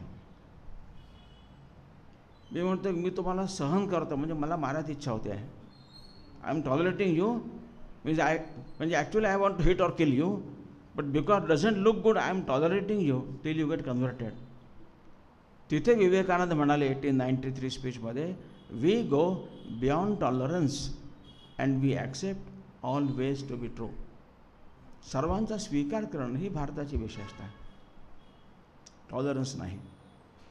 त्यामुळे विवेकानंद म्हणाले I am proud to tell you that I I am from a country where in our divine language Sanskrit there is no word for exclusion कुठल्याही भारतीय भाषा शब्द नाही आहे दुसरी भारताची विशेषता आहे की एकही तत्व चैतन्य ईश अनेक रूपामध्ये अभिव्यक्त झालेलं आहे. त्यामुळे या डायव्हर्स फॉर्म फॉर्मच्या च्या अंतर्नित असलेली एकता बघण्याची दृष्टी भारताची आहे. त्यामुळे भारताचं वर्णन इंडियाचे कंट्री ऑफ डायव्हर्स कल्चर्स असं केलं जातं. ते पण खरं नाही आहे you don't have diverse cultures खरं वर्णन असं आहे that India has a culture that celebrates diversity तो डायव्हर्सिटीचा उत्सव साजरा करण्याची दृष्टी देणारी आमची संस्कृती आहे काय? सेलिब्रेशन डायव्हर्स आहेत. तिसरी विशेषता आहे every soul is potentially divine and soul शब्द स्त्री पुरुष दोघांना समान रूपाने लागू होतो. त्यामुळे स्त्री पुरुष दोघांमध्ये ही डिव्हिनिटी समान रूपाने विद्यमान आहे असं फक्त भारत मानतो.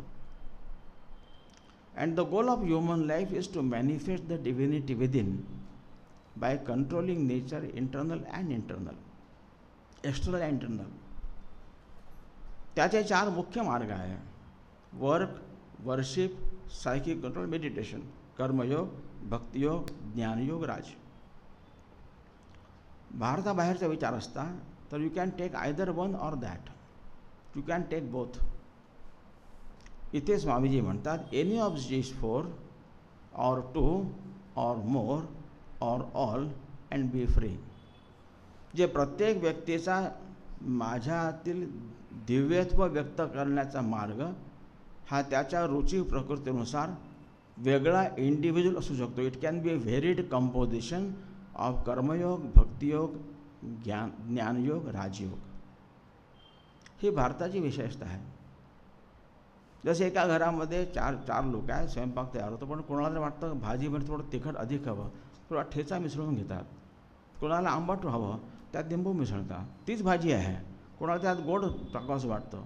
एकाच परिवारातली मुल मुलं मुली हे वेगवेगळ्या रुचीप्रमाणे त्याला करून खातात.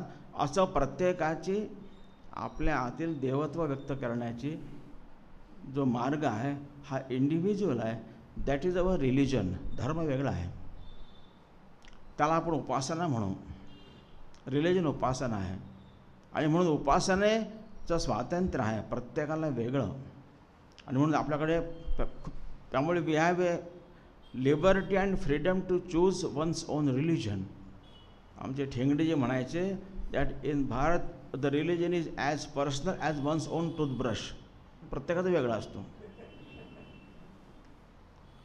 म्हणून आपल्याकडे स्पिरिच्युअल डेमोक्रेसी आहे पहिलेपासून. या गोष्टी भारताची विशेषता आहे. एक हे देशी विचार आहे हा. केवळ विचार नाही असा समाज जगत आलेला आहे हजारो वर्षापासून. भारताची आणखीन एक विशेषता ती अशी की भारत कधी राज्याधारित नव्हतं. Welfare state is not Indian tradition असं टागोर म्हणतात. त्यांचं पुस्तक स्वदेशी समाज आहे. ते म्हणाले की judiciary foreign affairs defence security हे विषय फक्त राजाकडे असायचे. बाकी health education commerce trade industry मंदिर मेला संगीत नाटक कला यात्रा या सर्वांची व्यवस्था समाजाची होती. त्याकरता राजकीय कोशातून येत येत नसे. तो समाज त्याला करता व्यवस्था करायचा. त्यामुळे एक खांबी तंबू आहे तो खांबा तुटला तंबू जमिनीवरती येईल परंतु चार पाच खांब्यावर उभा तंबू आहे एक खांबा तुटला. तो तंबू उभाच राहील आणि तुटलेल्या खांब्याला आतून परत डागडुजी करून उभं करण्याची सोय असते. तशी भारताची व्यवस्था होती. पश्चिमेचं स्टेट नेशन वेगळं आहे. आणि भारतामध्ये समाज राष्ट्र आहे. इथं वेगळं आहे.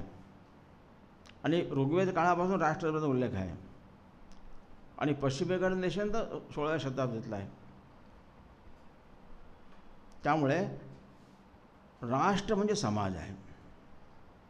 आणि म्हणून परकीयांचं आक्रमण आलं राजा पराजित झाले. परकीयांचं राज्य होतं. राष्ट्र नेहमी अपराजित राहिलेलं आहे. आणि राष्ट्राची व्यवस्था असणं हे आपसातलं एक जे वीण आहे आपसामध्ये एक आपसी तानाबाना भारत में जो बाहेर नाही आहे. बाहेर individual is connected through the neighbour through state इथे समाजाचे आपसामध्ये आपसी बंद असतात. आणि म्हणून कोरोना पॅन्डेमिकमध्ये कोरोना पॅन्डेमिक जगभरात सर्वत्र होतं. भारताशिवाय सर्व देशांमध्ये सरकारी कर्मचारीच लोकांची सेवा सुरक्षा करण्याकरता बाहेर पडले होते.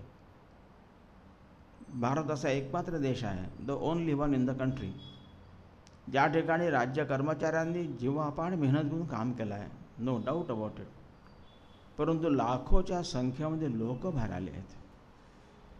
सर्व प्रदेशातून आले आहेत. आणि पूर भूकंप ॲक्सिडेंट नंतर जाऊन सेवा करणं वेगळं आहे. अशा वेळी भारताबाहेर कोणी समाज जात नाही सेवा करण्याकरता. भारतात ठिकठिकाण लोक जातात. परंतु एक इन्फेक्शस आजार आहे हायली इन्फेक्शस हायली फॅटल आहे. हे माहीत असून देखील लोक बाहेर पडले आहेत. एका ट्रायबल ट्रायबल मुलींशी गप्पा करत असताना मी म्हटलं क्यू की ऐसा? म्हणजे मला माहिती आहे माझ्या जीवाला धोका आहे तरी पण का केलं? केलं तर खरंच आहे. आणि आपण हे हे सर्वांनी वाचलं नाही आहे प्रत्यक्ष अनुभवलेलं आहे. ते एक मुलगी म्हणाली मन नाही मान रहा था that is the reason you feel connected with the entire society you are prompted to act असा समाज एका दिवसात बनत नाही. पिढ्यानपिढ्या लागतात. आणि अनेक जीवनांचा कापूर होऊन जातो. तेव्हा राष्ट्र तयार असतं. आणि म्हणून आता इथे गीता येते किंवा बातमी द्यायची आहे. बातमी देताना अवधान काय ठेवायचं आहे?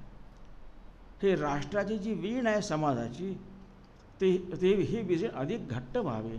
चांगली व्हावी. ती बीण उसवून जाऊ नये याची खास काळजी घेतली पाहिजे. नुसतं सनसनी द्यायची आहे. म्हणून मुद्दामच अशा प्रकारच्या बातम्या देणं आता वेळ कमी आहे. उदाहरण सांगतो मी. एकदा टाइम्स ऑफ इंडियात बातमी आली हरियाणामध्ये एका होळी मिलन कार्यक्रमामध्ये दलितांना त्या कार्यक्रमात सहभागी होण्यापासून दूर ठेवण्यात आलं. देवर देवर प्रिव्हेंटेड बातमी आली एका कार्यकर्त्याने मला ती बातमी दाखवली. मी आमच्या हरियाणाच्या जे प्रचार प्रमुखांना म्हटलं जा काय तर पाहिलं. ते गेले त्या गावी. त्यांनी पाहिलं काय झालं होतं. तर चार तरुण जे दारू पिऊन आले होते त्या ठिकाणी त्या ठिकाणी धुडगूस घालत होते म्हणून त्यांना बाहेर केलं होतं. ते चारही शेड्यूल कास्टचे होते. पण शेड्यूल कास्टचे बाकी सर्व लोक कार्यक्रमात सहभागी झाले होते. म्हणजे काही लोकांना दूर केलं ते शेड्यूल कास्टचे होते पण त्याचं कारण हे नव्हतं. पण त्या पत्रकाराने त्या वार्ताहराने नीट शहानिशा नाही केली. आमच्या प्रचार त्या संपा त्या गावाच्या सरपंचाच्या नावाने एक पत्र तयार केलं. त्या त्यांची सही घेतली आणि ते छापून आणलं. आता या म्हणजे ठिकठिकाणी जाती विद्वेष नाही असं नाही आहे परंतु आपल्याला भडकवायचं आहे. ख म्हणजे खरं सांगायचं आहे तरी पण ही नीट शहानिशा घेऊन चूक आहे ते चूक आहे रॉंग इज रॉंग या कोरोना पॅन्डेमिकमध्ये पन्नास लाखहून अधिक मायग्रंट वर्कर्स महाराष्ट्र कर्नाटक आंध्र या ठिकाणून पायी चालत झारखंड बिहारला गेले पायी चालत गेले. किती व्यवस्था केली वगैरे तरी पण त्या व्यवस्थे देखील अपूर्ण असते आणि व्यवस्थेत राहण्याचा लोकांचा सवय नाही आहे. त्यामुळे काही ठिकाणी ॲव्हरेज झाले असतील. त्याची चर्चा पण व्हायला पाहिजे. तो ही चर्चा करताना मीडियामध्ये चॅनलमध्ये जे काही पॅनलिस्ट आहेत त्यांनी काय भान ठेवलं पाहिजे? हे ज्या ठिकाणी घडलं त्यातनं चूक आहे पण सर्वत्र असं नाही आहे कारण चाळीस लाख लोक पोचले आहेत. Not a single riot happened um तिथे अमेरिकेमध्ये एकदा मी बातमी वाचली. न्यूयॉर्कमध्ये बारा तास रात्री वीज गेली होती. इतके बलात्कार क्राईम झाले त्या त्या बारा तासामध्ये. भारतामध्ये चाळीस पन्नास लाख लोक गेले पायी चालत गेले. कुठे रॅड झाले नाहीत. ठिकठिकाणी लोकांनी सहायता केली आहे. माझ्या परिचित एक पत्रकार आहे. शी इज फ्रॉम भिलई चार चार बहिणी आहेत त्यांची आई एक एक एक मध्यमवर्गीय परिवार आहे. आता हे लोक छत्तीसगडहून जायचे म्हणजे भिलईहून जायचे. त्यांच्या घरासमोरून नाही. पण हिच्या आईला असं वाटलं की त्यांनी टी व्हीमध्ये बघितलं पेपरात वाचलं. मी काही आता लाखो लोक चालले हजारो लोक चालले काय करणार हो? मी काहीतरी केलं पाहिजे हा विचाराला. आणि त्यांनी तीन शेजाऱ्यांशी बोलणं केलं. आणि चौघींनी एक दिवस अडीचशे लोकांचा स्वयंपाक तयार केला अडीचशे लोकांचे पॅकेट त्या फूड पॅकेट. त्या ठिकाणी जाऊन वाटून आल्या. त्यांची मुलगी पत्रकार नसती तर त्यांनी फोटो देखील काढला नसता. हा भारत आहे. आणि असा भारत हे शेकडो वर्षांच्या प्रयत्नांनी साधुसंत समाजसुधारक या सर्वांच्या गृहस्थ गृहिणी सर्वांच्या प्रयत्नांनी तयार होतो आहे. हे राष्ट्र आहे.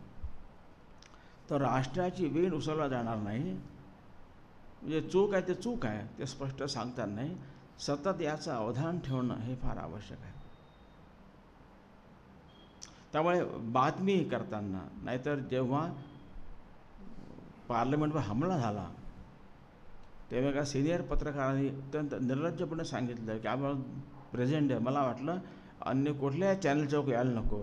माझा चॅनल एक्सक्लुझिव्ह ते दाखवलं पाहिजे. हा विचार येणं म्हणजे you are looking at the society ज्याचे तुम्ही भाग आहात अंग आहात ॲज अ रिसोर्स म्हणून पत्रकारांनी लक्षात असलं पाहिजे सर्वांना. म्हणजे प्रत्येकाला केवळ पत्रकार नाही प्रत्येकाने. म्हणजे की मी या राष्ट्राचा एक अंगभूत गट I am the part of this राष्ट्रांगभूता हा माझा समाज आहे मी त्याचा अंग आहे. मी जेव्हा अमेरिकेमध्ये गेलो होतो पहिल्यांदा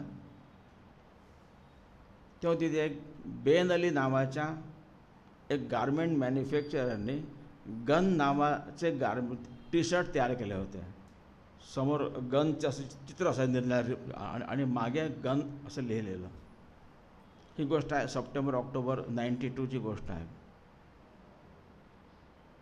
मग ती हे हे टी शर्ट त्या तरुणांमध्ये खूप पॉप्युलर झाले तिथल्या टीनेजर्समध्ये मग पालकांना जाणवलं की आपल्या मुलांचे विचारकृती अधिक अधिक हिंसक होत आहेत. म्हणून पालकांनी या बेन अलीला रिक्वेस्ट केली please withdraw this gun T shirts though though you are making money त्याचा मुलांवर चुकीचा परिणाम होतो आहे. पण त्याला पैसा कमवायचा होता त्यांनी नाही केलं. मग जेव्हा लोकांनी त्याच्या सर्व प्रॉडक्टवर बायकॉट करायचं ठरवलं तेव्हा मग यांनी गन टी शर्ट हे विड्रॉ केले होते. ही घटना घडली होती मी पोचलो. मी बातमी वाचली. त्या बातमीत जेव्हा पत्रकार त्याला विचारतो तुम्हाला जाणवलं जेव्हा लोकांनी सांगितलं की या तुमच्या या टी शर्ट्समुळे ज्याची खूप धूम विक्री सुरू आहे पण तरुणांचे विचार हिंसक होत आहेत तर तुम्ही आधी त्याला विड्रॉ का नाही केलं? त्यांचं उत्तर जे छापून आलं होतं ते गंभीर होतं. ते म्हणाले look I am here in the business of making money and not in the business of morality हे त्याचं वाक्य होतं. हा समाज मला फक्त रिसोर्स आहे. पैसा कमावण्याकरता. आणि म्हणून गीता हे सांगते जे दैशिक राष्ट्र शब्द आहे की मी राष्ट्राचा अंग आहे. हा माझा समाज आहे. मला चूक ते दाखवायचंच आहे. हे दाखवताना हे सांगायचं आहे की समाज अजून खूप चांगला आहे खूप चांगला आहे. आणि चांगळपणावर समाजाचा विश्वास अधिक वाढावा बसावा. त्या दृष्टी त्यांनी प्रवृत्त व्हावं. या प्रकारे बातमी नॅरेशन जे काही तयार करायचं आहे ते आपण केलं. तर मला वाटतं की आणि धर्म संबंधी खूप ठिकाणी शब्द वापरला जातो. थोडं मी रिलिजन उपासना धर्मामध्ये थोडं अंतर करतो. देवळात जाणं पूजा करणं अग्निहोत्र करणं अर्घ्य देणं पाप मंदिरात पायी जाणं ही उपासना आहे. धर्म नाही आहे. उपासना म्हणजे रिलिजन आहे.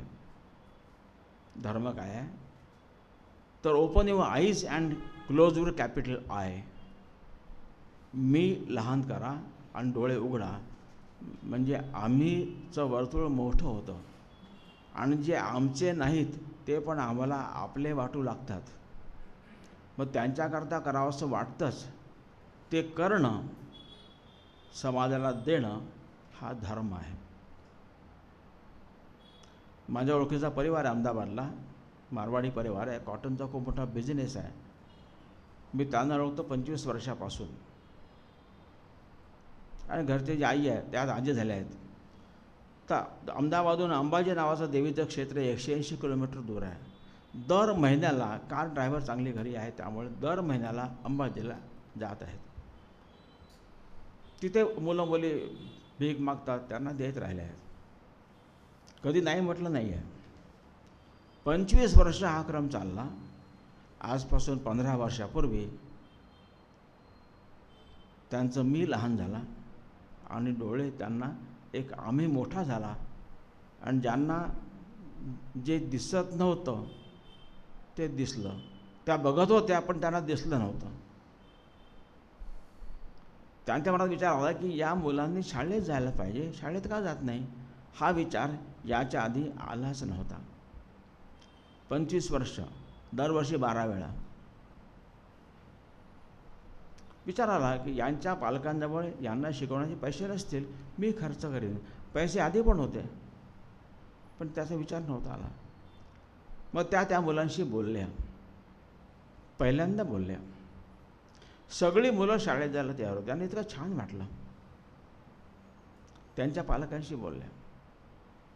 पालक म्हणाले बहनजी बच्चे स्कूल में जाएंगे. हम खाएंगे क्या? वो भीख मांगते तब घर में चूल्हा जलता है। हमारे लिए चूल्हा जलना महत्त्व का पड़ा ही नहीं।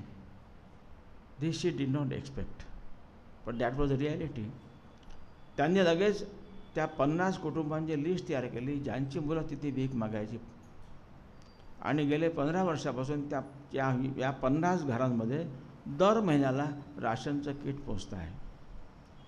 त्या मुलांना शाळेत ॲडमिट केलं आहे त्यांचा गणवेश बॅग्स फीज शाळा लांब असल्यामुळे बस बस ड्रायव्हरचा पगार.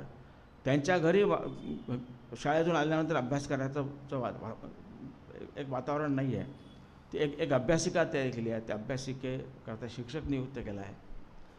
जानेवारी दोन हजार वीस साली मी त्यांचं काम पाहायला गेलो होतो. त्यांचं सूत्र आहे भिक्षा नाही शिक्षा. भिखे नाही भणवा मोकली आहे भीक मागायला नाही शिकायला पाठवा. इतकं मोठं प्रचंड. आता अंबाजीमध्ये कोणी मुलं भीक मागत नाही आहेत मुलं शाळेत जात आहेत तर त्यांची पंचवीस वर्ष उपासना सुरू होती. धर्म आता सुरू झाला आहे पंधरा वर्षापासून.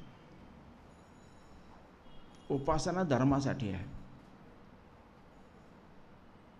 आणि भारतीय स्वदेश समाज म्हणाला टागोर तो राजकीय कोष नाही समाजाकडून यायचं. तो समाज देत असेल म्हणून माझ्याकरता घर बांधलं माझं घर झालं. लोकांसाठी बांधलं त्याला धर्मशाळा म्हटलेलं आहे. अँड धर्म डज नॉट डिस्क्रिमिनेट धर्म भेद करत नाही. तुम्ही धर्माची काळजी घ्या. धर्म सर्वांची काळजी घेईल. म्हणून म्हटलं आहे धर्म रक्षित रक्षती. आणि म्हणून हे जे समाजामध्ये आध्यात्मिकतेच्या आधारावर राष्ट्र जागवायचं आहे राष्ट्र राष्ट्र विणायचं आहे तर प्रत्येकाने प्रत्येक आप आपलं काम करताना व्यवसाय करताना उद्योग करताना प्रत्येकाने करायचं आहे. परंतु असं म्हटलं आहे जे वयम राष्ट्रीय जागृहम पुरोहिता जे राष्ट्रामधले पुरोहित आहेत जे प्रमुख आहेत त्यांनी याबद्दल अधिक सजगता अधिक सक्रियता बाळगली पाहिजे. म्हणून पत्रकारांची विशेषता अशी आहे की सर्व बातमी पत्रकारापाशी पहिल्यांदा येते. व तो न्यूज लिहील किंवा चॅनलवर दाखवेल. तेव्हा त्याने ती प्रस्तुत करताना चुकीचं वाईट ते नक्की सांगितलं पाहिजे. परंतु हे करताना हे राष्ट्राचं जे वस्त्र आहे ते वस्त्र त्याची वीण उसवणार नाही. याची देखील काळजी घेणं हे अत्यंत आवश्यक आहे. आणि म्हणून कशी बातमी येते? आता मला परवा एका आनंदी पाठवला एक बातमी पाठवली.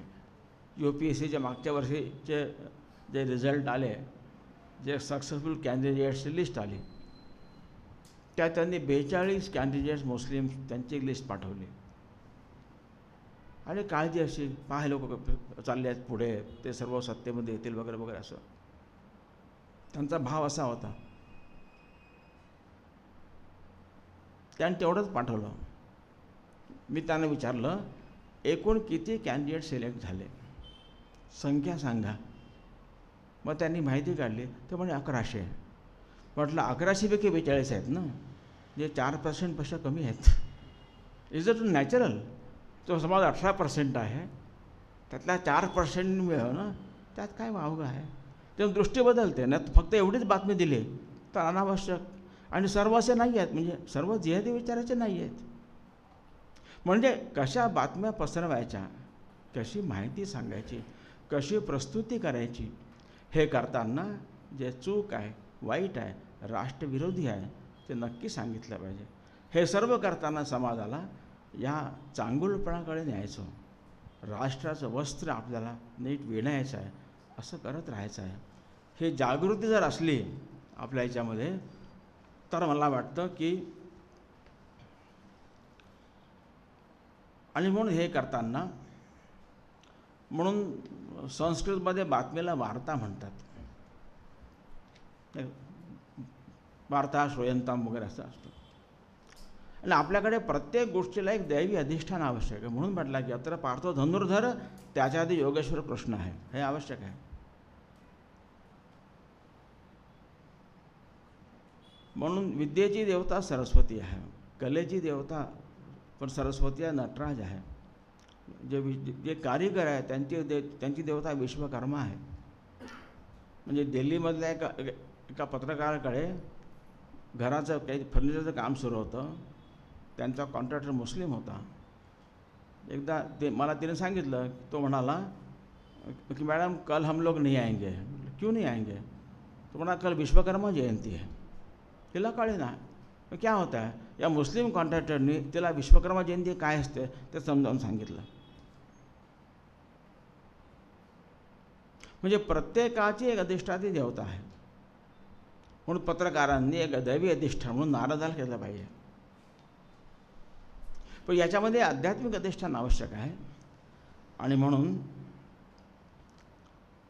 म्हणून विद्येला म्हटलं आहे की ती विद्या खरी सा विद्या या विमुक्त आहे कलेकरता म्हटलं आहे सा कला या विमुक्त आहे म्हणजे प्रत्येकामध्ये मोक्षप्राप्तीकरता पुढे जाण्याची एक प्रवृत्ती निर्माण व्हावी याच्याकरता कलेचा उपयोग आहे. म्हणून सर्व कलाकार आपले कला प्रस्तुत करताना आपल्या जे आराध्य देवताची आराधना करतात. सर्व भारतामध्ये एक राज्य नसतानाही राजे वेगळे होते भाषा वेगळ्या होत्या पण सर्व कलाकार आपली कला प्रस्तुती करताना मंचावर जायचे जे मंत्राला प्रणाम करूनच पाय ठेवतात. हे खरं आहे. त्यामुळे सा वार्ता या विमुक्तये हे सूत्र आपण ठेवलं पाहिजे. म्हणजे वाचणारा देखील लिहिणारा देखील म्हणजे त्याचं जे चूक आहे चूक आहे. त्याबद्दल सावध केलं पाहिजे लोकांना. एक एक हिंदी कविता आहे. दोन तीन वाक्याला सांगतो मी. त्यातले. बात ऐसी कर, वगैरे वगैरे. शेवटचं वाक्य असं आहे की जुल्म के अन्याय के पल में कभी भी चुप न रहना, चुप न सहना. जुल्म का प्रतिरोध करने के लिए बोलो बराबर, ज्वालामुखी उद्गार मुख खोलो सरासर. ज़ोर से बोलो कि जिससे जुल्म का दिल दहल जाए और गाफिलो जहाँ भी आदमी संभल जाए. परंतु हे करताना देखील म्हटलं बात में अपना, वरद, हृदय अपना अपनी सच्चाई डाल कर देखो पराया भी स्वजन हो बात ऐसे कर जिसमें कुछ वजन हो। हे सर्व सांभाळायचं आहे. आणि म्हणून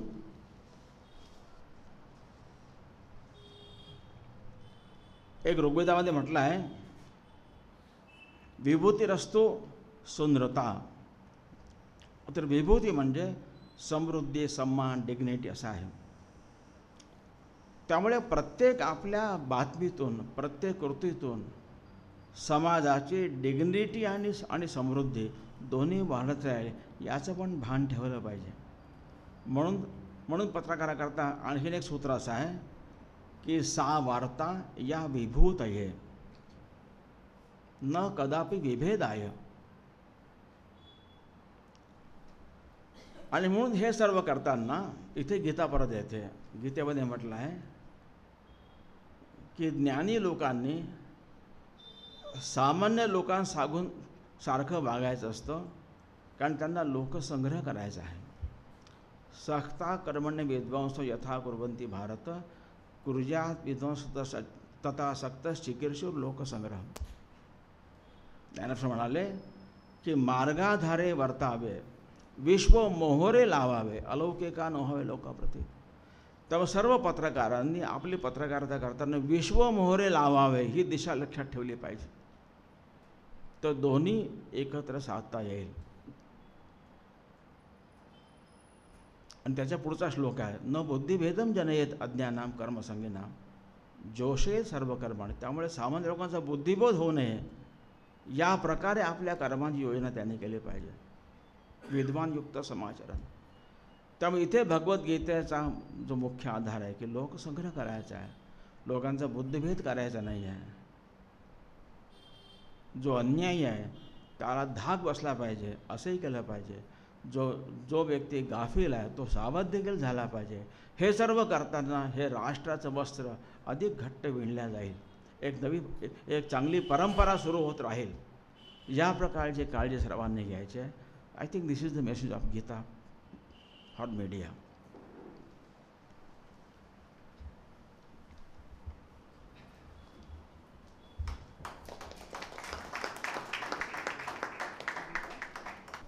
यानंतर आभार प्रदर्शनासाठी मी निमंत्रित करते ज्येष्ठ पत्रकार मनोहर सर कुलकर्णी आणि त्याच्यानंतर गीतेची आरती सादर करतील सुरेखा जोशी आणि स्मिता वाटवे आणि त्यानंतर हा कार्यक्रम संपेल.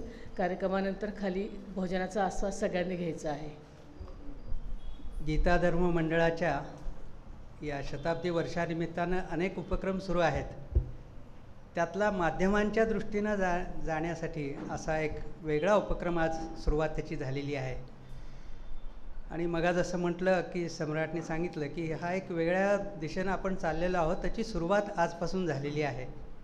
तर मला वाटतं ही सुरुवात केवळ एका परिसंवादापुरती मर्यादित राहू नये तर या विषयावरती जे कोणी असं काही कार्य करत असतील जसं सकाळ करत आहे किंवा इतर काही माध्यमं करत असतील तर त्यांना प्रोत्साहन देण्याच्या दृष्टीनं अशी काही आपल्याला शिष्यवृत्ती सुरू करता येईल का?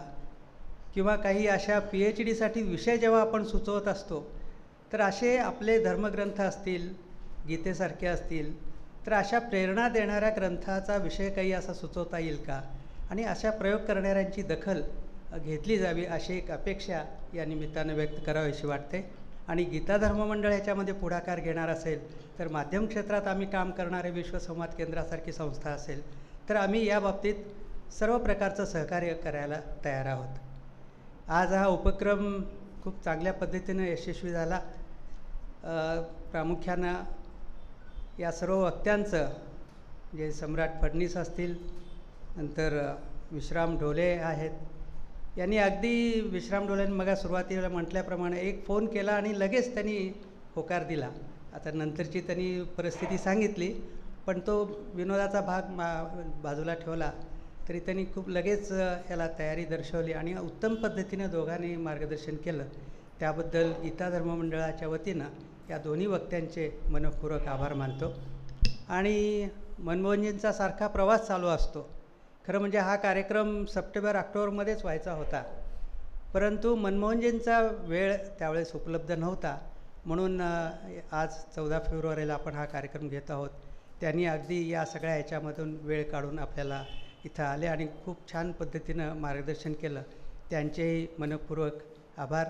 आणि आज तसा वर्किंग डे आहे पण आपण सर्वांनी वेळ काढून या कार्यक्रमाला आपण आलात आणि सहभागी झालात. याबद्दल आपला सर्वांचेही मनपूर्वक आभार.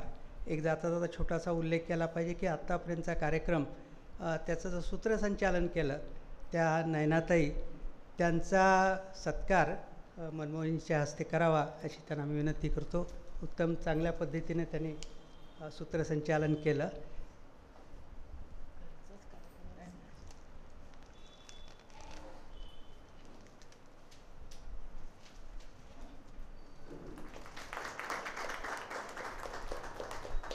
पुन्हा एकदा आपणा सर्वांचे धन्यवाद.